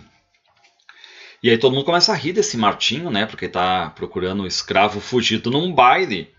Mas ele diz ali, né, que tem certeza que uma mulher dali é escrava fugida, que é exatamente a Isaura ou Elvira. Aí ele vai ler o anúncio. Isso é importante, tá? Porque isso aqui é a reprodução de um de um anúncio de escravo fugido à época. Fugiu da fazenda do Sr. Leôncio Gomes da Fonseca, no município de Campos, província do Rio de Janeiro, uma escrava por nome Isaura, cujos sinais são os seguintes: cor clara e tez delicada, como de qualquer branca, olhos pretos e grandes, cabelos da mesma cor, compridos e ligeiramente ondeados, boca pequena, rosada e bem feita, dentes alvos e bem dispostos, Nariz saliente, bem talhado, cintura delgada, talha esbelta, estatura regular. Tem na face esquerda um pequeno sinal preto e acima do seio direito um sinal de queimadura, muito semelhante a uma asa de borboleta. Então são dois sinais aqui, né? Um pequeno sinal preto na face esquerda e uh, acima do seio direito um sinal de queimadura, um, tipo uma asa de borboleta. Traja-se com gosto e elegância, canta e toca piano com perfeição. Reparem, né? Ela está tocando piano ali. Como teve excelente educação e tem uma boa figura, pode passar em qualquer parte por uma senhora livre de boa sociedade, ou seja, pode estar até num baile. Fugiu em companhia de um português por nome Miguel, que, disse, que se diz seu pai. É natural que tenham mudado o nome, como aconteceu.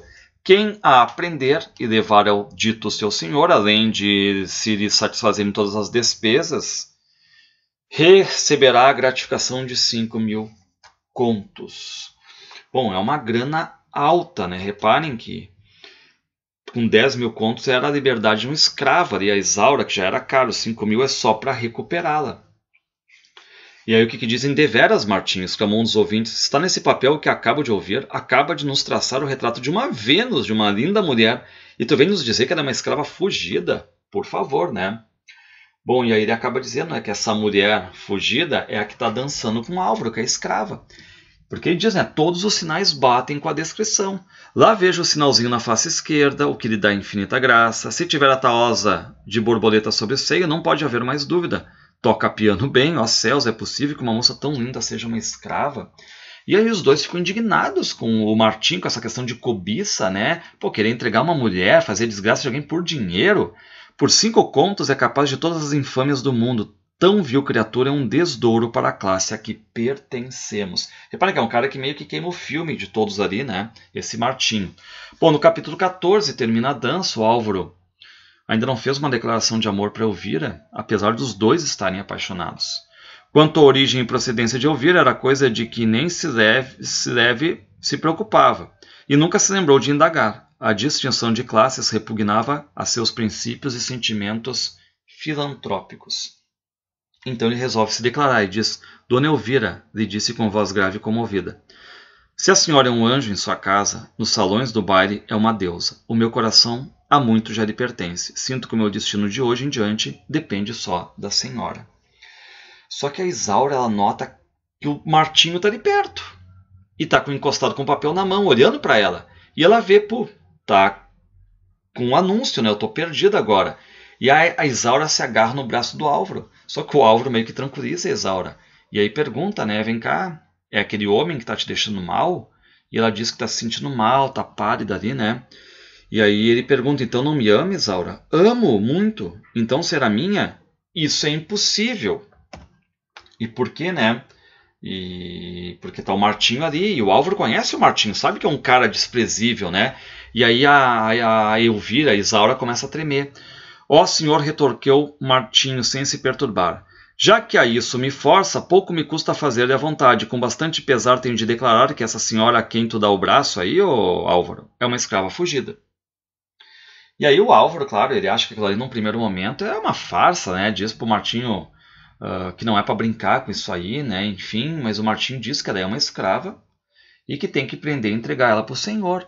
Só que aí a Isaura larga o braço do Álvaro e corre pro pai, o Miguel. E aí alguns amigos do Álvaro vão tirando o Martinho dali, porque começa uma quase briga, né, e tal. E o Martinho pede a atenção de todos, ó, diz que a, a Isaura, essa eu virei uma escrava, e todo mundo para no baile para ver o que vai acontecer. E o Martinho puxa o anúncio e lê em voz alta, né? Mas para tirar toda dúvida, só resta examinar se ela tem o tal sinal de queimadura acima do seio, e é coisa que desde já se pode averiguar com licença da senhora. Só que o Martim vai para perto da Isaura, porque ele quer ver essa marca, né? E o, o Álvaro agarra o Martim pelo braço e, e lança ele longe, né? Só que a Isaura acaba confessando: Não é preciso que me toquem, exclamou com voz angustiada. Meus senhores e senhoras, perdão. Cometi uma infâmia, uma indignidade imperdoável. Mas Deus me é testemunha que uma cruel fatalidade a isso me levou. Senhores, o que esse homem diz é verdade, eu sou uma escrava. E no mesmo momento ela desmaia. O Álvaro e o Miguel seguram ela e o Martinho fica perto, né? Porque ele quer prender Isaura e ganhar o dinheiro dele, a quantia boa. Só que as mulheres que antes estavam humilhadas frente à presença da Isaura, agora estão tudo ali vingadas, rindo, né? E o Martinho tá com mandado de apreensão ali uh, acompanhado de um oficial de justiça né, e está exigindo a entrega da Isaura. Só que o Álvaro não deixa. E tomando por testemunha as pessoas que ali se achavam, constituiu-se fiador da escrava, comprometendo-se a entregá-la a seu senhor, ou a quem por ordem dele a reclamasse. Ou seja, só vou entregar para o senhor ou quem tem a procuração, certo? Não um mandado, mas uma procuração que o Leôncio, digamos assim, deu para a pessoa. Bom, a gente vai para o capítulo 15 e diz que já é passado cerca de um mês depois dos acontecimentos que acabamos de narrar. Isaura e Miguel, graças à valiosa intervenção de Álvaro, continuam a habitar a mesma pequena chácara no bairro de Santo Antônio. E então, estão ali né, por conselho do Álvaro, e o Álvaro vai quase todos os dias ali, uh, fica pensando como conseguir a liberdade da Isaura, e ele conversou inclusive com o Dr. Geraldo, né, e o Geraldo disse que o Álvaro, Álvaro, tu se iludiu, né, a tua princesa é uma escrava, e o Álvaro disse que realmente pensou que tinha sido enganado pela Isaura, né? Mas não foi isso. Pois bem, Geraldo, eu que naquela ocasião, desairado e confuso, não sabia onde esconder a cara, hoje rio e me aplaudo por ter dado a ocasião a semelhante aventura. Parece que Deus de propósito tinha me preparado aquela interessante cena para mostrar de um modo palpitante o quanto é vã e ridícula toda a distinção que provém do nascimento e da riqueza. Então o Álvaro disse que foi até a casa do chefe de polícia, contou o que ocorreu, né? E conseguiu que a Isaura e o pai ficassem livres ali na casa, mas com a garantia uh, de que eles não podem desaparecer. E o Álvaro disse: não, eles não vão sair dali. E aí, claro, né, o chefe de polícia vai lá, interroga a Isaura para saber a, a, identidade dela, né? fugir em companhia de seu pai para escapar ao amor de um senhor devasso, libidinoso e cruel, que a poder de violências e tormentos tentava forçá-la a satisfazer seus brutais desejos. E aí o Álvaro diz que ela é na verdade uma heroína, né? Enfim, que mas infelizmente não deixa de ser uma escrava fugida. Pretendo requerer que Isaura seja mantida em liberdade e que lhe seja nomeado um curador a fim de tratar do seu direito. Ou então, para isso, ele pede ajuda do advogado, o Dr. Geraldo, amigão dele, né? mas o Geraldo diz que o dono tem o direito de reclamar a escrava fugida, né? aprender a escravo, não tem o que fazer. Como poderá a justiça ou o poder público devassar o interior do lar doméstico e ingerir-se no governo da casa do cidadão? Enquanto houver escravidão, aonde se dar esses exemplos? Uma instituição má produz uma infinidade de abusos que só poderão ser extintos cortando-se o mal pela raiz. E aí o Álvaro fica desanimado né, com as leis brasileiras, tá difícil de achar algum meio, algum, algum uma brecha na lei, né? Nenhum, Álvaro, o senhor tem direito absoluto de propriedade sobre escravo. O senhor tem direito, o senhor, no caso do Leôncio, né, tem direito absoluto de propriedade sobre escravo e só pode perdê-lo manumitindo, dando carta de alforria, ou aliando por qualquer maneira, ou por litígio provando-se liberdade, mas não por serviços que cometa o outro qualquer motivo parecido, análogo. E aí o Álvaro diz que vai empregar todos os esforços para tentar libertar a Isaura, né? A escravidão em si, e aí ele vem já querer um abolicionista, ele diz, né? A escravidão em si mesma já é uma indignidade, uma úlcera hedionda na face da nação que a tolera e protege. Olha a crítica forte aí, né? E o Geraldo diz que o Álvaro é rico, mas a riqueza não pode reformar, digamos, o lado ruim do mundo. E que nem o dinheiro faria a Isaura ser admitida né, na alta sociedade. E aí ele vai lá e diz: é, O que me importam os círculos da alta sociedade, uma vez que sejamos bem acolhidos no meio das pessoas de bom senso e coração bem formado? Tô pouco me lixando exatamente, né? Enfim. Só que o Álvaro acaba, né? Uh, falando todo esse recurso, enfim, porque ele é um abolicionista, não quer saber dessa parte aí. Só que aí surge um oficial de justiça, a gente vai para o capítulo 16. O primeiro cuidado de Martinho, logo ao sair do baile, em que viu malograda sua tentativa de aprender Isaura, foi escrever ao senhor dela uma longa e minuciosa carta, ao Leôncio, comunicando que tinha sido a fortuna de descobrir a escrava que tanto procurava. Então, uh, ele fala né, que o Miguel está em Recife com a Isaura, fala do Álvaro, que era um cara milionário, pernambucano, que ama Isaura, uh, e diz que o Álvaro conseguiu impedir a apreensão da Isaura, tornou o seu fiador protestando não entregá-la senão ao próprio Senhor. E aí o Martinho vai para o Rio de Janeiro, a carta também. O Leôncio recebe a carta, já responde. O Leôncio autoriza o, Mar, o, o Martinho né, a aprender essa escrava. Pode aprender. Manda a procuração. O Martinho volta, vai até o chefe de polícia. O chefe de polícia libera um oficial de justiça e mais alguns guardas para efetuarem, digamos, a entrega da Isaura. Né? Ainda este infame, murmurou Álvaro entre os dentes ao ver entrar o Martim. Então o Martim está vindo ali, né? Agora sim, com uma procuração, com oficiais prontos para prender a Isaura. Uh, e aí, né, o Álvaro diz que é o depositário da Isaura, mas aí o Martim mostra a ordem do chefe de polícia. E, e o Álvaro ainda tenta dizer, pô, Martinho, tu é um covarde em fazer isso, né? A uma mulher. E o Martinho, oh, isso não me interessa, eu vou usar o meu direito, quero prender e pegar meu dinheiro. Qual o direito? De varejar esta casa e levar a força escrava? É? E, e, aí o, o, Geraldo, o doutor, o amigo do Álvaro, tenta acalmar o Álvaro, né? Diz que o melhor é entregar mesmo e tal. Mas qual é a estratégia do Álvaro? Chama o Martinho de canto. Aí diz assim, ô Martinho, tu tá querendo, na verdade, o dinheiro, os cinco contos, né? Então deixa eu fazer uma proposta, certo? Mas se quiser desistir completamente desse negócio e deixar em paz essa escrava, eu dou o dobro, dou 10 contos para ti. Reparem, sem trabalhar, sem fazer serviço nenhum, né? Só que o Martinho diz, é, mas eu já empreguei a minha palavra com Leôncio. E aí o Álvaro diz, ah, mas inventa qualquer desculpa e tudo mais. E o Martinho, tá, ok, me dá os descontos. Vou mentir pro Leôncio que quem eu pensava que era escrava não era, né? Que eu me enganei.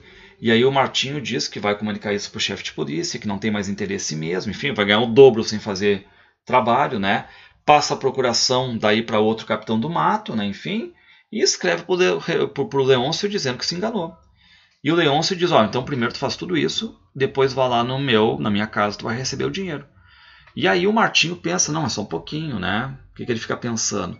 10 contos, Isaura é muita grana, é uma coisa inesgotável ali, né? Então o Martim já pensa em mais ideias. O Martinho sai e o Álvaro conta para o Geraldo o que fez. Enquanto Leôncio, persuadido que a sua escrava não se, a, não se acha aqui no Recife, a procura por todo esse mundo, ele fica, ela fica aqui tranquilamente, à minha sombra, livre das perseguições dos maus tratos de um bárbaro senhor. E eu terei tempo para ativar os meios de arranjar provas e documentos que se justifiquem o seu direito à liberdade. Só que aí o doutor Geraldo e diz que o Álvaro está pensando mal, porque muita gente vai vir atrás dela, né? Tu mata um martinho, mas vão vir mais martinhos, mais capitães do mato atrás dela, tá? Capítulo 17, é longo esse escravizauro enredo, né? um livrinho de 150 páginas, mas tem muito enredo. Bom, capítulo 17, o Álvaro está só, Aí depois vem a Isaura, né? Pergunta por que ele está tão triste. Ele diz: Não estou triste nem abatido. Estava meditando, pensando nos meios de arrancar-te do abismo da escravidão, meu anjo, e elevar-te à posição para o que o céu te criou. Eu o amava assim como o amo ainda e cada vez mais, diz ela, né? Perdoe-me esta declaração, que é sem dúvida uma ousadia da boca de uma escrava. Então, ela, né? Faz uma declaração de amor aí. O Álvaro diz que vai usar a fortuna dele, a vida dele, se preciso for, para libertar a Isaura. Apenas depois de instantes e repetidas súplicas de Isaura havia tomado a liberdade tratada por tu. A questão de tu é a aproximação. Isso mesmo quando se achavam a sós. Somente agora, pela primeira vez, Álvaro, dominado pela mais suave e veemente emoção, ao proferir as últimas palavras, enlaçando o braço em torno ao colo de Isaura, a cingia brandamente contra o coração. Então agora o amor está ficando mais forte entre eles ali. Mas alguém vai surgir, vai separar os dois ali, né? Um criado do Álvaro entra, dizendo que tem gente ali procurando por ele, né? E o Álvaro pede para Isaura se esconder. E aí o Álvaro vê né, que tem um homem ali, pergunta o que deseja, né? Desculpe-me, respondeu o cavaleiro, passeando um olhar escrutador em torno da sala. Não é a vossa senhoria que eu deseja, desejava falar, mas sim ao morador desta casa ou à sua filha. E aí, claro, ele está fazendo referência ao Miguel e à Isaura. E aí ele diz que vem ali aprender, prender uma escrava fugida. Aí o que, que diz o, Álvaro, o Álvaro? Né? Nesse caso deve se entender comigo, Álvaro, que sou o depositário dessa escrava. Ah, pelo que vejo, Vossa Excelência é o senhor Álvaro. Sim, um criado de Vossa Senhoria. Bem, muito estimo encontrá-lo por aqui, pois saiba também que sou Leôncio, o legítimo senhor dessa escrava. O Álvaro fica mudo ao saber que o Leôncio sai do rio para ir atrás agora da escrava Isaura. Bom, vamos para o capítulo 18 que, que diz agora né, o narrador do leitor, provavelmente não terá ficado menos atônico do que ficou Álvaro com o imprevisto aparecimento de Leôncio no Recife e indo bater certo na casa em que se achava refugiada sua escrava. Bom, aí o narrador, né, de novo, vai dizer que precisa explicar como Leôncio sabe onde está morando Isaura e Miguel. E a gente vai mais digressões, mais flashback, né? Aí o Leôncio, quando recebeu a carta do Martinho, e ficou sabendo que a Isaura estava com Leôncio, um rapaz rico e que amava a Isaura, claro que ele entrou em desespero e se tocou para Pernambuco. E aí ele pensa né, não só em responder a carta, dar todos os poderes para o Martim, mas também ir lá pessoalmente ver o que está acontecendo. E firme nesta resolução foi ter com o ministro da Justiça, com quem cultivava relações de amizade, e pediu-lhe uma carta de recomendação, o que equivale a uma ordem ao chefe de polícia de Pernambuco. Bom, e aí no outro dia, Leôncio seguia para o norte, no mesmo vapor que conduzia suas cartas. Estas, porém, chegaram a seu destino algumas horas antes que o seu autor desembarcasse no Recife. Por isso que o Martim foi antes do que o Leôncio. E aí o Leôncio chega em Pernambuco, vai para o chefe da polícia. Uh, o chefe diz que já deu ordem para o Martim, e o Martim tinha voltado e tinha dito que tinha se enganado, né? De maneira que terei perdido meu tempo e minha viagem, diz o Leôncio. Ah, não, não, isto não é possível. Mas aí o Leôncio meio que desconfia do Álvaro, né? Pô, o cara tem dinheiro, gosta dela, e o Martim é meio malandro. E é o que venho disposto a fazer. Irei eu lá mesmo, diz o Leôncio, verificar o negócio por meus próprios olhos e já, se for possível. E aí consegue, né, um oficial de justiça, guardas para irem até lá. Só que agora a gente volta, né? Começa essa discussão entre o Álvaro e o Leôncio. Depois desse flashback, a gente volta para a cena, né? E o Álvaro está protegendo ela contra as violências do próprio Leôncio ali, que está disposto a fazer todos os sacrifícios possíveis para liberar Isaura, né? Dou-lhe o que pedir. Dou-lhe uma fortuna por essa escrava. Abra preço, fale. Não há dinheiro que a pague, diz o Leôncio, nem todo o ouro do mundo, porque não quero vendê-la. Mas isso é um capricho bárbaro, uma perversidade, certo? E é realmente, né? E aí o Leôncio diz que não quer papo, quer o direito dele de levar a escrava e vai levar. Algoz bradou espumando de raiva, aí tens a tua escrava, mas antes de levá-la, has de responder pelos insultos que me tens dirigido, ouviste? Ou acaso pensas que eu também sou teu escravo? Estás louco, homem, disse Leôncio amedrontado. Repare né, que o, o Álvaro cresce para cima dele e o Leôncio se amedronta. As leis do nosso país não permitem o duelo, diz ele, né? Que me importam as leis? Para o homem de bril e a honra é superior às leis, e se não és um covarde, como penso, nós vamos brigar agora. E o Leôncio pede socorro, né? Diz ali, começa a gritar, querem matar ele, né? E no mesmo momento, atraídos pelo barulho, entravam na sala de um lado Isaura e Miguel. Do outro lado, o oficial de justiça e os guardas. Isaura estava com o ouvido aguçado e do interior da casa ouvira e compreendera tudo. E aí o Leôncio, né, uh, mostra para os guardas quem é Isaura, quem é o Miguel e manda prender os dois. Vai-te, Isaura, murmurou Álvaro, vai-te com voz trêmula e sumida, achegando-se da cativa, mas não desanimes, eu não te abandonarei. Confie em Deus e em meu amor. Bom, eles saem e qual é o detalhe aqui, né? Uma hora depois de o Leôncio levar, junto com os oficiais, a Isaura e o Miguel, o Martinho lá achando que vai receber o dinheiro, né? E foi lá na casa do Álvaro receber o dinheiro. O Martinho tá todo empolgado, né? Enfim.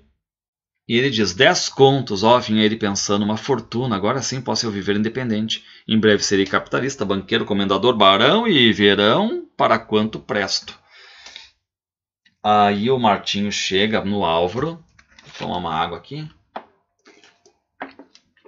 O Martinho chega no Álvaro e explica, né? Ó, eu fiz tudo conforme combinado, tá? Aí o Álvaro diz: Basta, senhor Martinho, disse ele com mau humor. O negócio está arranjado, não preciso mais dos seus serviços.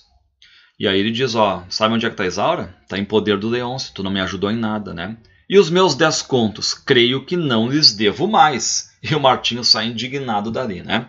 No capítulo 19, ah, na casa do Leôncio agora, o André briga com a Rosa porque a Rosa não consegue arrumar a sala, ela é incompetente porque esses trabalhos que antes a Isaura fazia, né? E ele diz, né? No tempo de Isaura andava tudo isso aqui que era um mimo, fazia gosto entrar-se nesta sala. Agora é isto, está claro que não és para estas coisas. Se tem saudades do tempo de Isaura, vai lá tirá-la do quarto escuro do tronco onde ela está morando, diz ela, né? Enfim. Bom, agora a gente fica sabendo que Isaura, né, depois que o Leôncio buscou ela de Pernambuco, está morando num quarto escuro. Pelo diálogo acima, o leitor bem vê que nos achamos de novo na fazenda de Leôncio, no município de Campos, e na mesma sala em que no começo desta história encontramos Isaura entoando sua canção favorita. Cerca de dois meses são decorridos depois que Leôncio for ao Recife aprender sua escrava. Então, voltando ali, né, ó, cerca de dois meses decorridos que Leôncio fora aprender a escrava. Então, faz dois meses que eles estão ali. E nesse meio tempo, o Leôncio e a Malvina se reconciliaram, tá? Veio da corte de novo. Qual é, porém, a sorte de Isaura e de Miguel desde que deixaram Pernambuco? Que destino deu Leôncio ou pretende dar aquela?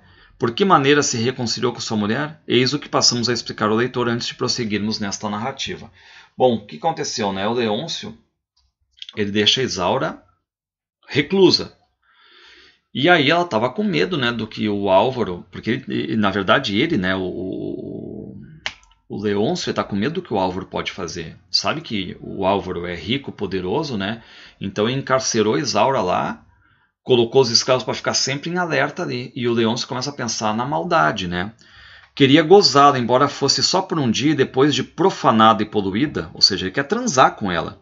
Entregá-la desdenhosamente ao seu antagonista, dizendo-lhe: Venha comprar a sua amante, agora estou disposto a vendê-la e barato. Reparem né, o que, que diz o texto ali, né? A, questão assim, de uma maldade, ou seja, o que, que quer fazer o, o, Leôncio? Transar com a Isaura, digamos, na época, né, tirar a virgindade dela, certo? E depois chamar o, o Álvaro e dizer, agora sim eu estou querendo vendê-la e baratinho, né? Enfim. E aí o Leôncio vai para cima da Isaura, faz promessa, tenta seduzir, ameaça, mas não adianta. E aí ele ainda tem que se reconciliar com a Malvina, já que ele foi à corte procurar a Malvina né, e tudo mais. E ele iludiu a Malvina, mente para ela, mostrou-se envergonhado e arrependido do, do modo por que a havia tratado e jurou apagar com seu futuro comportamento até a lembrança dos seus passados desvairios. Então reparem, né, ele, ele confessa para Malvina, ah, eu fiquei realmente atraído pela Isaura, mas isso passou. E, e fez a Malvina acreditar que a Isaura fugiu porque ela foi seduzida por um homem. E, e, que junto com Miguel fizeram um plano de raptar e tal, foram para Recife, lá tinha um moço apaixonado por ela e tudo mais, né? Que Isaura, com seus artifícios, dando-se por uma senhora livre, o tinha enleado, iludido por tal forma que o pobre moço estava a ponto de casar-se com ela, e mesmo depois de saber que era cativa, não queria largá-la, e praticando mil escândalos e disparates, estava disposto a tudo para alforriá-la. Malvina, moça ingênua e crédula, como um coração sempre propenso à ternura e ao perdão, deu pleno crédito a tudo quanto aprove a Leôncio inventar. Então ela acredita em tudo ali, né? E o Leôncio está mentindo. E aí a Malvina, uh, então começa a sentir um afastamento, assim, não quer chegar perto da Isaura, sente meio desprezo pela Isaura. Mas tudo é mentira do Leôncio, mas ela acreditou, né? Ela tem ainda alguma compaixão pela Isaura, mas tem esse afastamento agora. E aí perguntou pro Leôncio, tá, mas o que tu vai fazer com ela? Dar-lhe um marido e carta de liberdade. E já achaste esse marido? Pois faltam maridos? Para achá-lo não precisei sair de casa. E repare o plano agora, né? Uh, e o Leôncio não quer que seja um escravo o marido. Ele lembra do André, mas aí, né, por ser apaixonado por ela, não quer também. Então diz que tem um marido ali que acha melhor para ela. E quem é? Ora, quem? O Belchior. Pô, repare, o Belchior é o feio ali, né? É o bicho do mato e tudo mais, o jardineiro. O Belchior, exclamou Malvina rindo-se muito, está caçoando. Mas esperas, acaso que Isaura queira casar-se com aquele monstrengo? Se não quiser, diz Leôncio, pior para ela, não lhe dou a liberdade e há de passar a vida enclausurada e em ferros. Bom, a Malvina diz que aquilo ali é pior, aquilo é uma crueldade. Não adianta dar liberdade se ela não pode escolher o marido. E aí o Leôncio diz que não vai deixar ela se casar com esse pernambucano, né, enfim, porque diz que esse pernambucano provocou ele e é uma questão de honra. Pois bem, Leôncio, mas eu entendo que Isaura mais facilmente se deixará queimar viva do que se casar com Belchior. E aí o Leôncio, né, uh, fez o Miguel voltar preso junto com a Isaura, certo? E fez também pagar todas as despesas, o, o Miguel tem que pagar todas as despesas e os prejuízos dessa fuga. E o Miguel ficou sem recurso, o Miguel está cheio de dívida agora. Só que aí o Leôncio, uh, como mudou agora de plano sobre a Isaura, ele procura o Miguel para propor um jeito de acabarem com as brigas, digamos assim. Né? E a proposta a gente já sabe, né? Miguel, tu casar a tua filha com o Belchior, eu dou a liberdade para ela, fica elas por elas, não me paga mais nada, tá? Só que assim, ó, não é para casar com o pernambucano Álvaro, é para esquecer ele de vez. E aí o Miguel fica meio assim, né? O que, que eu faço agora? E o se inventa até uma carta do Álvaro. Diz que o Álvaro está casado, né? Enfim. Então ele mostra a carta ali. Pede-me com todo o desfaçamento que em todo e qualquer tempo que eu me resolva a dispor de Isaura, nunca o faça sem participar-lhe, porque muito deseja tê-la para a mucama de sua senhora, até onde pode chegar o cinismo e a imprudência. Bom, reparem né, o que, que ele fez. Tudo mentira. Uh, o Miguel não acredita né, que o Álvaro fez isso, ou seja, se casou com uma mulher e quer a Isaura agora só para mucama, né? E o Leon se apresenta a carta para o Miguel, diz para ele olhar a letra, ó, tá vendo? É a letra do Álvaro e tudo mais, né?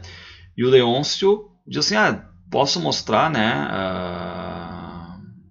Tu pode mostrar essa carta para Isaura se quiser, né? E diz, olha, eu te perdoo todas as dívidas, Miguel. Tu pode abrir um negócio em Campos, em companhia da Isaura, do Belchior, enfim, né? Na, na verdade, não, não, disse quem é que é o noivo, né? E aí, uh, esta questão toda, né, de saber quem é. E aí ele vai dizer, mas quem é esse genro aí? É verdade. Esqueci, mas é o Belchior, o meu jardineiro. Não o conhece? Bom, aí o Miguel diz né, que duvida que a Isaura vai querer se casar com o Belchior, né? Enfim, diz que. Uh, e o Leôncio diz: ó, se ela não aceita se casar, vai continuar escrava. E aí o pai diz, então tá, deixa eu lá comunicar a decisão então para ela. Bom, vamos para o capítulo 20. Uh, a Rosa e o André estão ali na sala, limpando os móveis, né? a Isaura está lá no aposento escuro.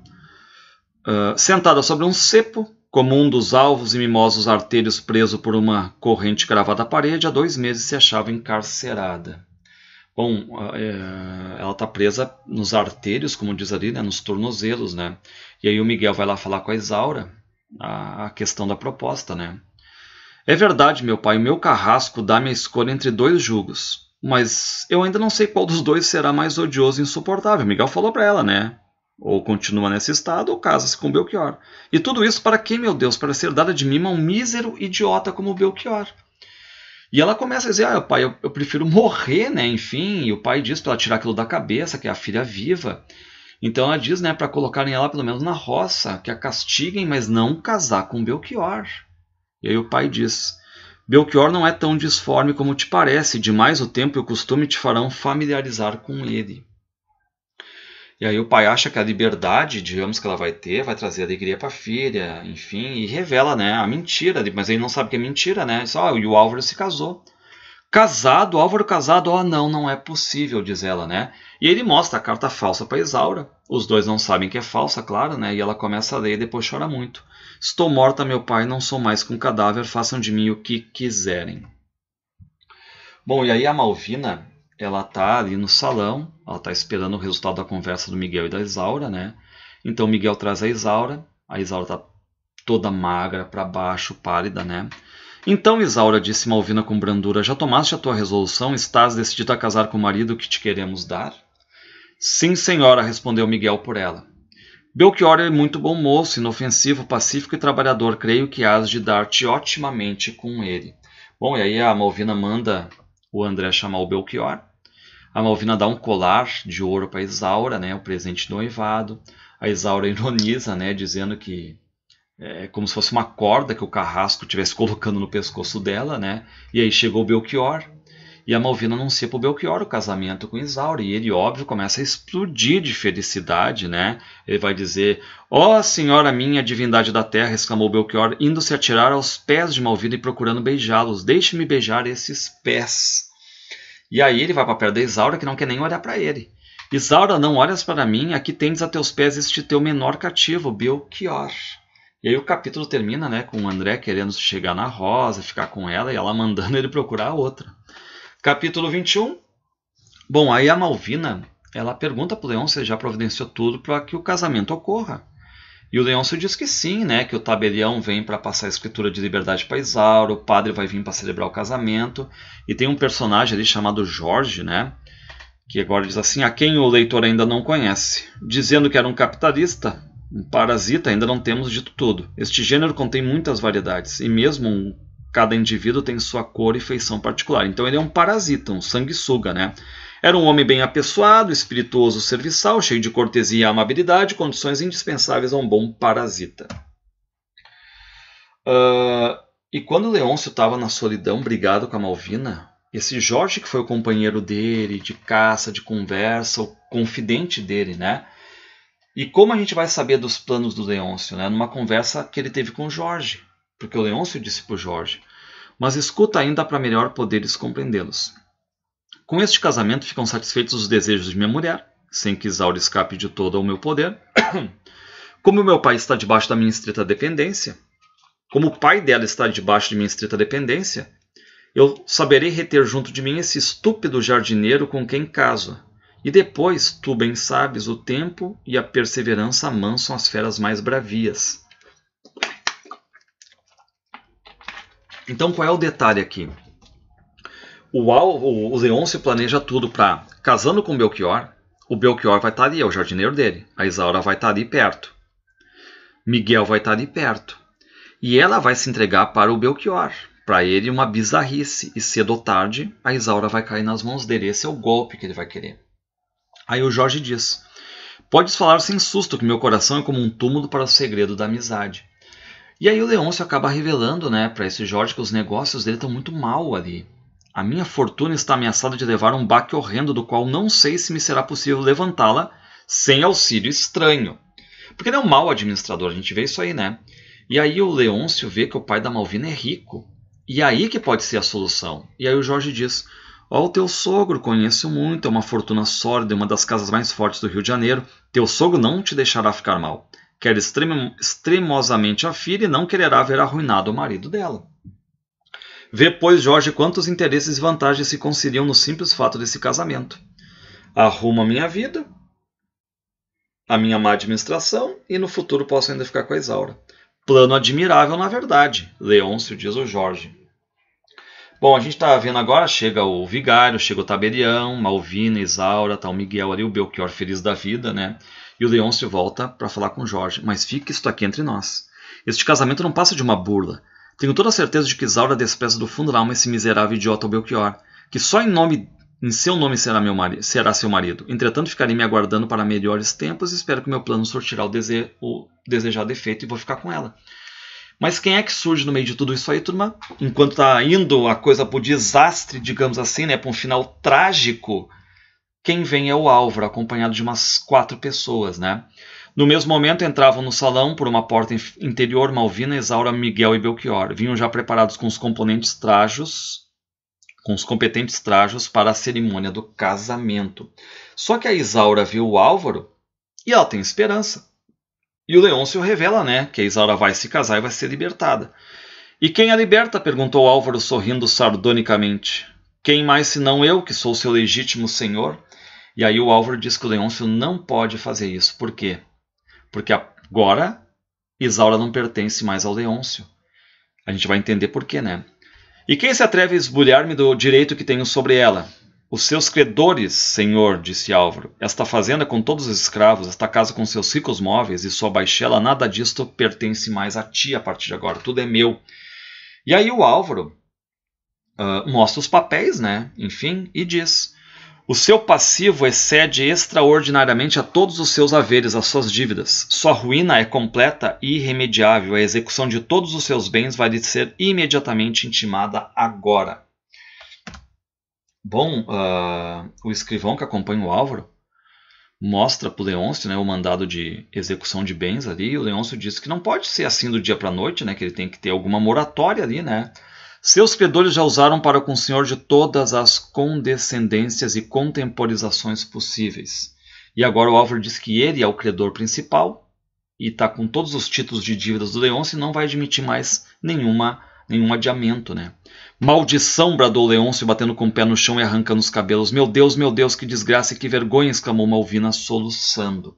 Bom, a gente vai para o capítulo 22 e vamos explicar, né, como o livro faz. Deixemos por um momento suspensa a cena do capítulo antecedente e interrompido o diálogo entre os dois mancebos. É-nos preciso explicar por que série de circunstâncias Álvaro veio aparecer em casa do senhor de Isaura. Bom, uh, depois que Isaura voltou para o rio com Leôncio, o Álvaro ficou, claro, desanimado. Mas aí ele fica muito indignado pelaquela briguinha que deu entre eles, pela arrogância do Leôncio, né? enfim, o Leôncio é um escravocrata e o Álvaro é um abolicionista. E o Geraldo, o doutor, aquele amigo do Álvaro, tenta meio que acalmar o Leôncio. E ele orienta o Álvaro, orientar o Álvaro, né? E ele orienta o Álvaro a não ir atrás da Isaura. Só que o Álvaro, enfim, né, diz assim, ó, tá, não vou, vou renunciar a esse amor. Mas ele fica um mês ali pensando, só que, enfim, é paixão, paixão romântica, não conseguiu tirar da cabeça a Isaura. Então ele resolve para tipo o Rio de Janeiro. E não tem nenhum plano na mente dele. Só que ele foi recolhendo informações sobre o Leôncio ali e viu né, que o Leôncio ele tinha dívidas, dívidas e dívidas. E aí uma pessoa vai dar uma informação lá. Né? Ó, oh, conheço muito esse sujeito Leôncio, disse logo o primeiro negociante a quem Álvaro se dirigiu. Esse moço está falido, em completa ruína. Se Vossa Senhoria também é credor dele, pode pôr as suas barbas de molho, porque as dos vizinhos estão a arder. Ninguém consegue, enfim, cobrar as dívidas do Leôncio. E esse cara com quem o Álvaro está falando é um grande credor do Leôncio, né? E aí o Álvaro pergunta, né? Mas esse passivo, em que soma é calculado mais ou menos? Calcula-se aproximadamente em 400 e tantos a 500 contos, enquanto que a fazenda de Campos, com escravos e todos os mais acessórios, não excederá talvez a 200. Reparem tem uma dívida de quase 500 mil, uma fazenda valendo 200 mil. Então, assim, o, a dívida excede, né? E aí esse homem indica para o Álvaro uh, casa de outros credores, enfim, né? E diz que o Leôncio era um mau administrador. Não só as safras começaram a escassear consideravelmente, como também o número de escravos foi se reduzindo pela morte e pelas frequentes fugas. Depois da morte do comendador, o pai do Leôncio, as coisas foram de mal a pior, e em pouco tempo o jovem fazendeiro Leôncio estava de todo insonvável, sem um real em caixa e com uma multidão de letras protestadas na carteira de seus credores. E aí, claro, os credores uh, vem que se executar os bens do Leôncio, eles vão receber só metade. Então esperar o Leôncio se recompor e tudo mais para pegar tudo na íntegra. Só o que, que fez o Álvaro? Comprou todos os créditos pela metade do valor. Ou seja, eu tenho uma dívida de quanto dele? Ah, eu tenho uma dívida de 100 mil, eu te dou 50 mil. Ok, ok. Então ele comprou todos os créditos, né? Para evitar qualquer odiosidade que semelhante procedimento pudesse acarretar sobre sua pessoa, declarou a eles que nenhuma intenção tinha de vexar nem oprimir o infeliz fazendeiro, que, pelo contrário, era seu intuito protegê-lo livrá-lo do vexame de uma rigorosa execução judicial e deixá-lo ao abrigo da miséria. Então, até o Álvaro pensa nisso, né? Só que o Álvaro ele não queria se vingar ao extremo, né? Era Álvaro ele dez vezes mais rico do que o Leôncio. Álvaro, sempre generoso, nem por isso desejava vê-lo reduzido à miséria, o seu adversário. Os credores não hesitaram um momento em aceitar a proposta. Senhor de todos os títulos de dívida de Leôncio, isto é, de toda a fortuna do Leôncio, Álvaro partiu para Campos a fim de promover por sua conta a execução dos bens de Leôncio. E aí ele vai com os papéis e acompanhado de um escrivão, oficiais de justiça, e agora a gente volta para a conversa entre o Álvaro e o Leôncio ali, né? E o Álvaro pergunta: Agora, quanto à escrava de que há pouco se falava, o que pretendia fazer dela? Libertá-la, já disse, respondeu Leôncio com rudeza. Só que ele diz: não só libertá-la, vou casar também com ela. E o Álvaro pergunta: só um pouquinho. Isaura, é consentimento teu querer se casar? E a Isaura diz: não, de jeito nenhum.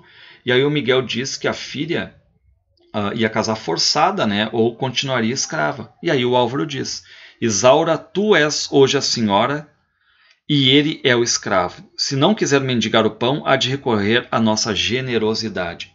Senhor, exclamou Isaura, correndo a lançar-se aos pés de Álvaro. Oh, quanto sois bom e generoso para com esta infeliz escrava! Mas em nome dessa mesma generosidade, de joelhos eu vos peço perdão, perdão para eles. Reparem como é bom, né? Como é boa Isaura até no final, né? E para encerrar aqui, o que, que diz ele? Levanta-te, diz o Álvaro. Levanta-te, mulher generosa e sublime. Sempre dois adjetivos aí, né? Linguagem adjetivada. Disse Álvaro, estendendo as mãos para levantar-se. Levanta-te, Isaura. Não é aos meus pés, mas sim em meus braços, aqui bem perto do meu coração, que te deves lançar, pois a despeito de todos os preconceitos do mundo, e a gente entende os preconceitos do mundo, né? A questão toda de um cara riquíssimo se casar com uma escrava. Então, ele diz assim: ó, tô cagando para os preconceitos do mundo, eu me julgo mais feliz dos mortais em poder oferecer-te a mão de esposo. Eu, esposo de uma ex-escrava agora, né? Senhor, bradou Leôncio, agora reparem o Leôncio, né, com os lábios espumantes, os olhos desvairados, está muito irritado. Diz, vê que perdeu, não tem o que fazer. Ele diz, aí tendes tudo quanto possuo. Pode saciar a sua vingança, mas eu lhe juro, nunca há de ter o prazer de ver-me implorar a sua generosidade. Ou seja, vilão, vilão até o final. E dizendo isto, Leôncio entrou arrebatadamente em uma alcova num quarto ao lado da sala. O que, que vai dizer ali, né? Ao Malvina: Leôncio, Leôncio, onde é que vais? exclamou Malvina, precipitando-se para ele. Mal, porém, havia lá chegado à porta, ouviu-se a explosão atroadora de um tiro.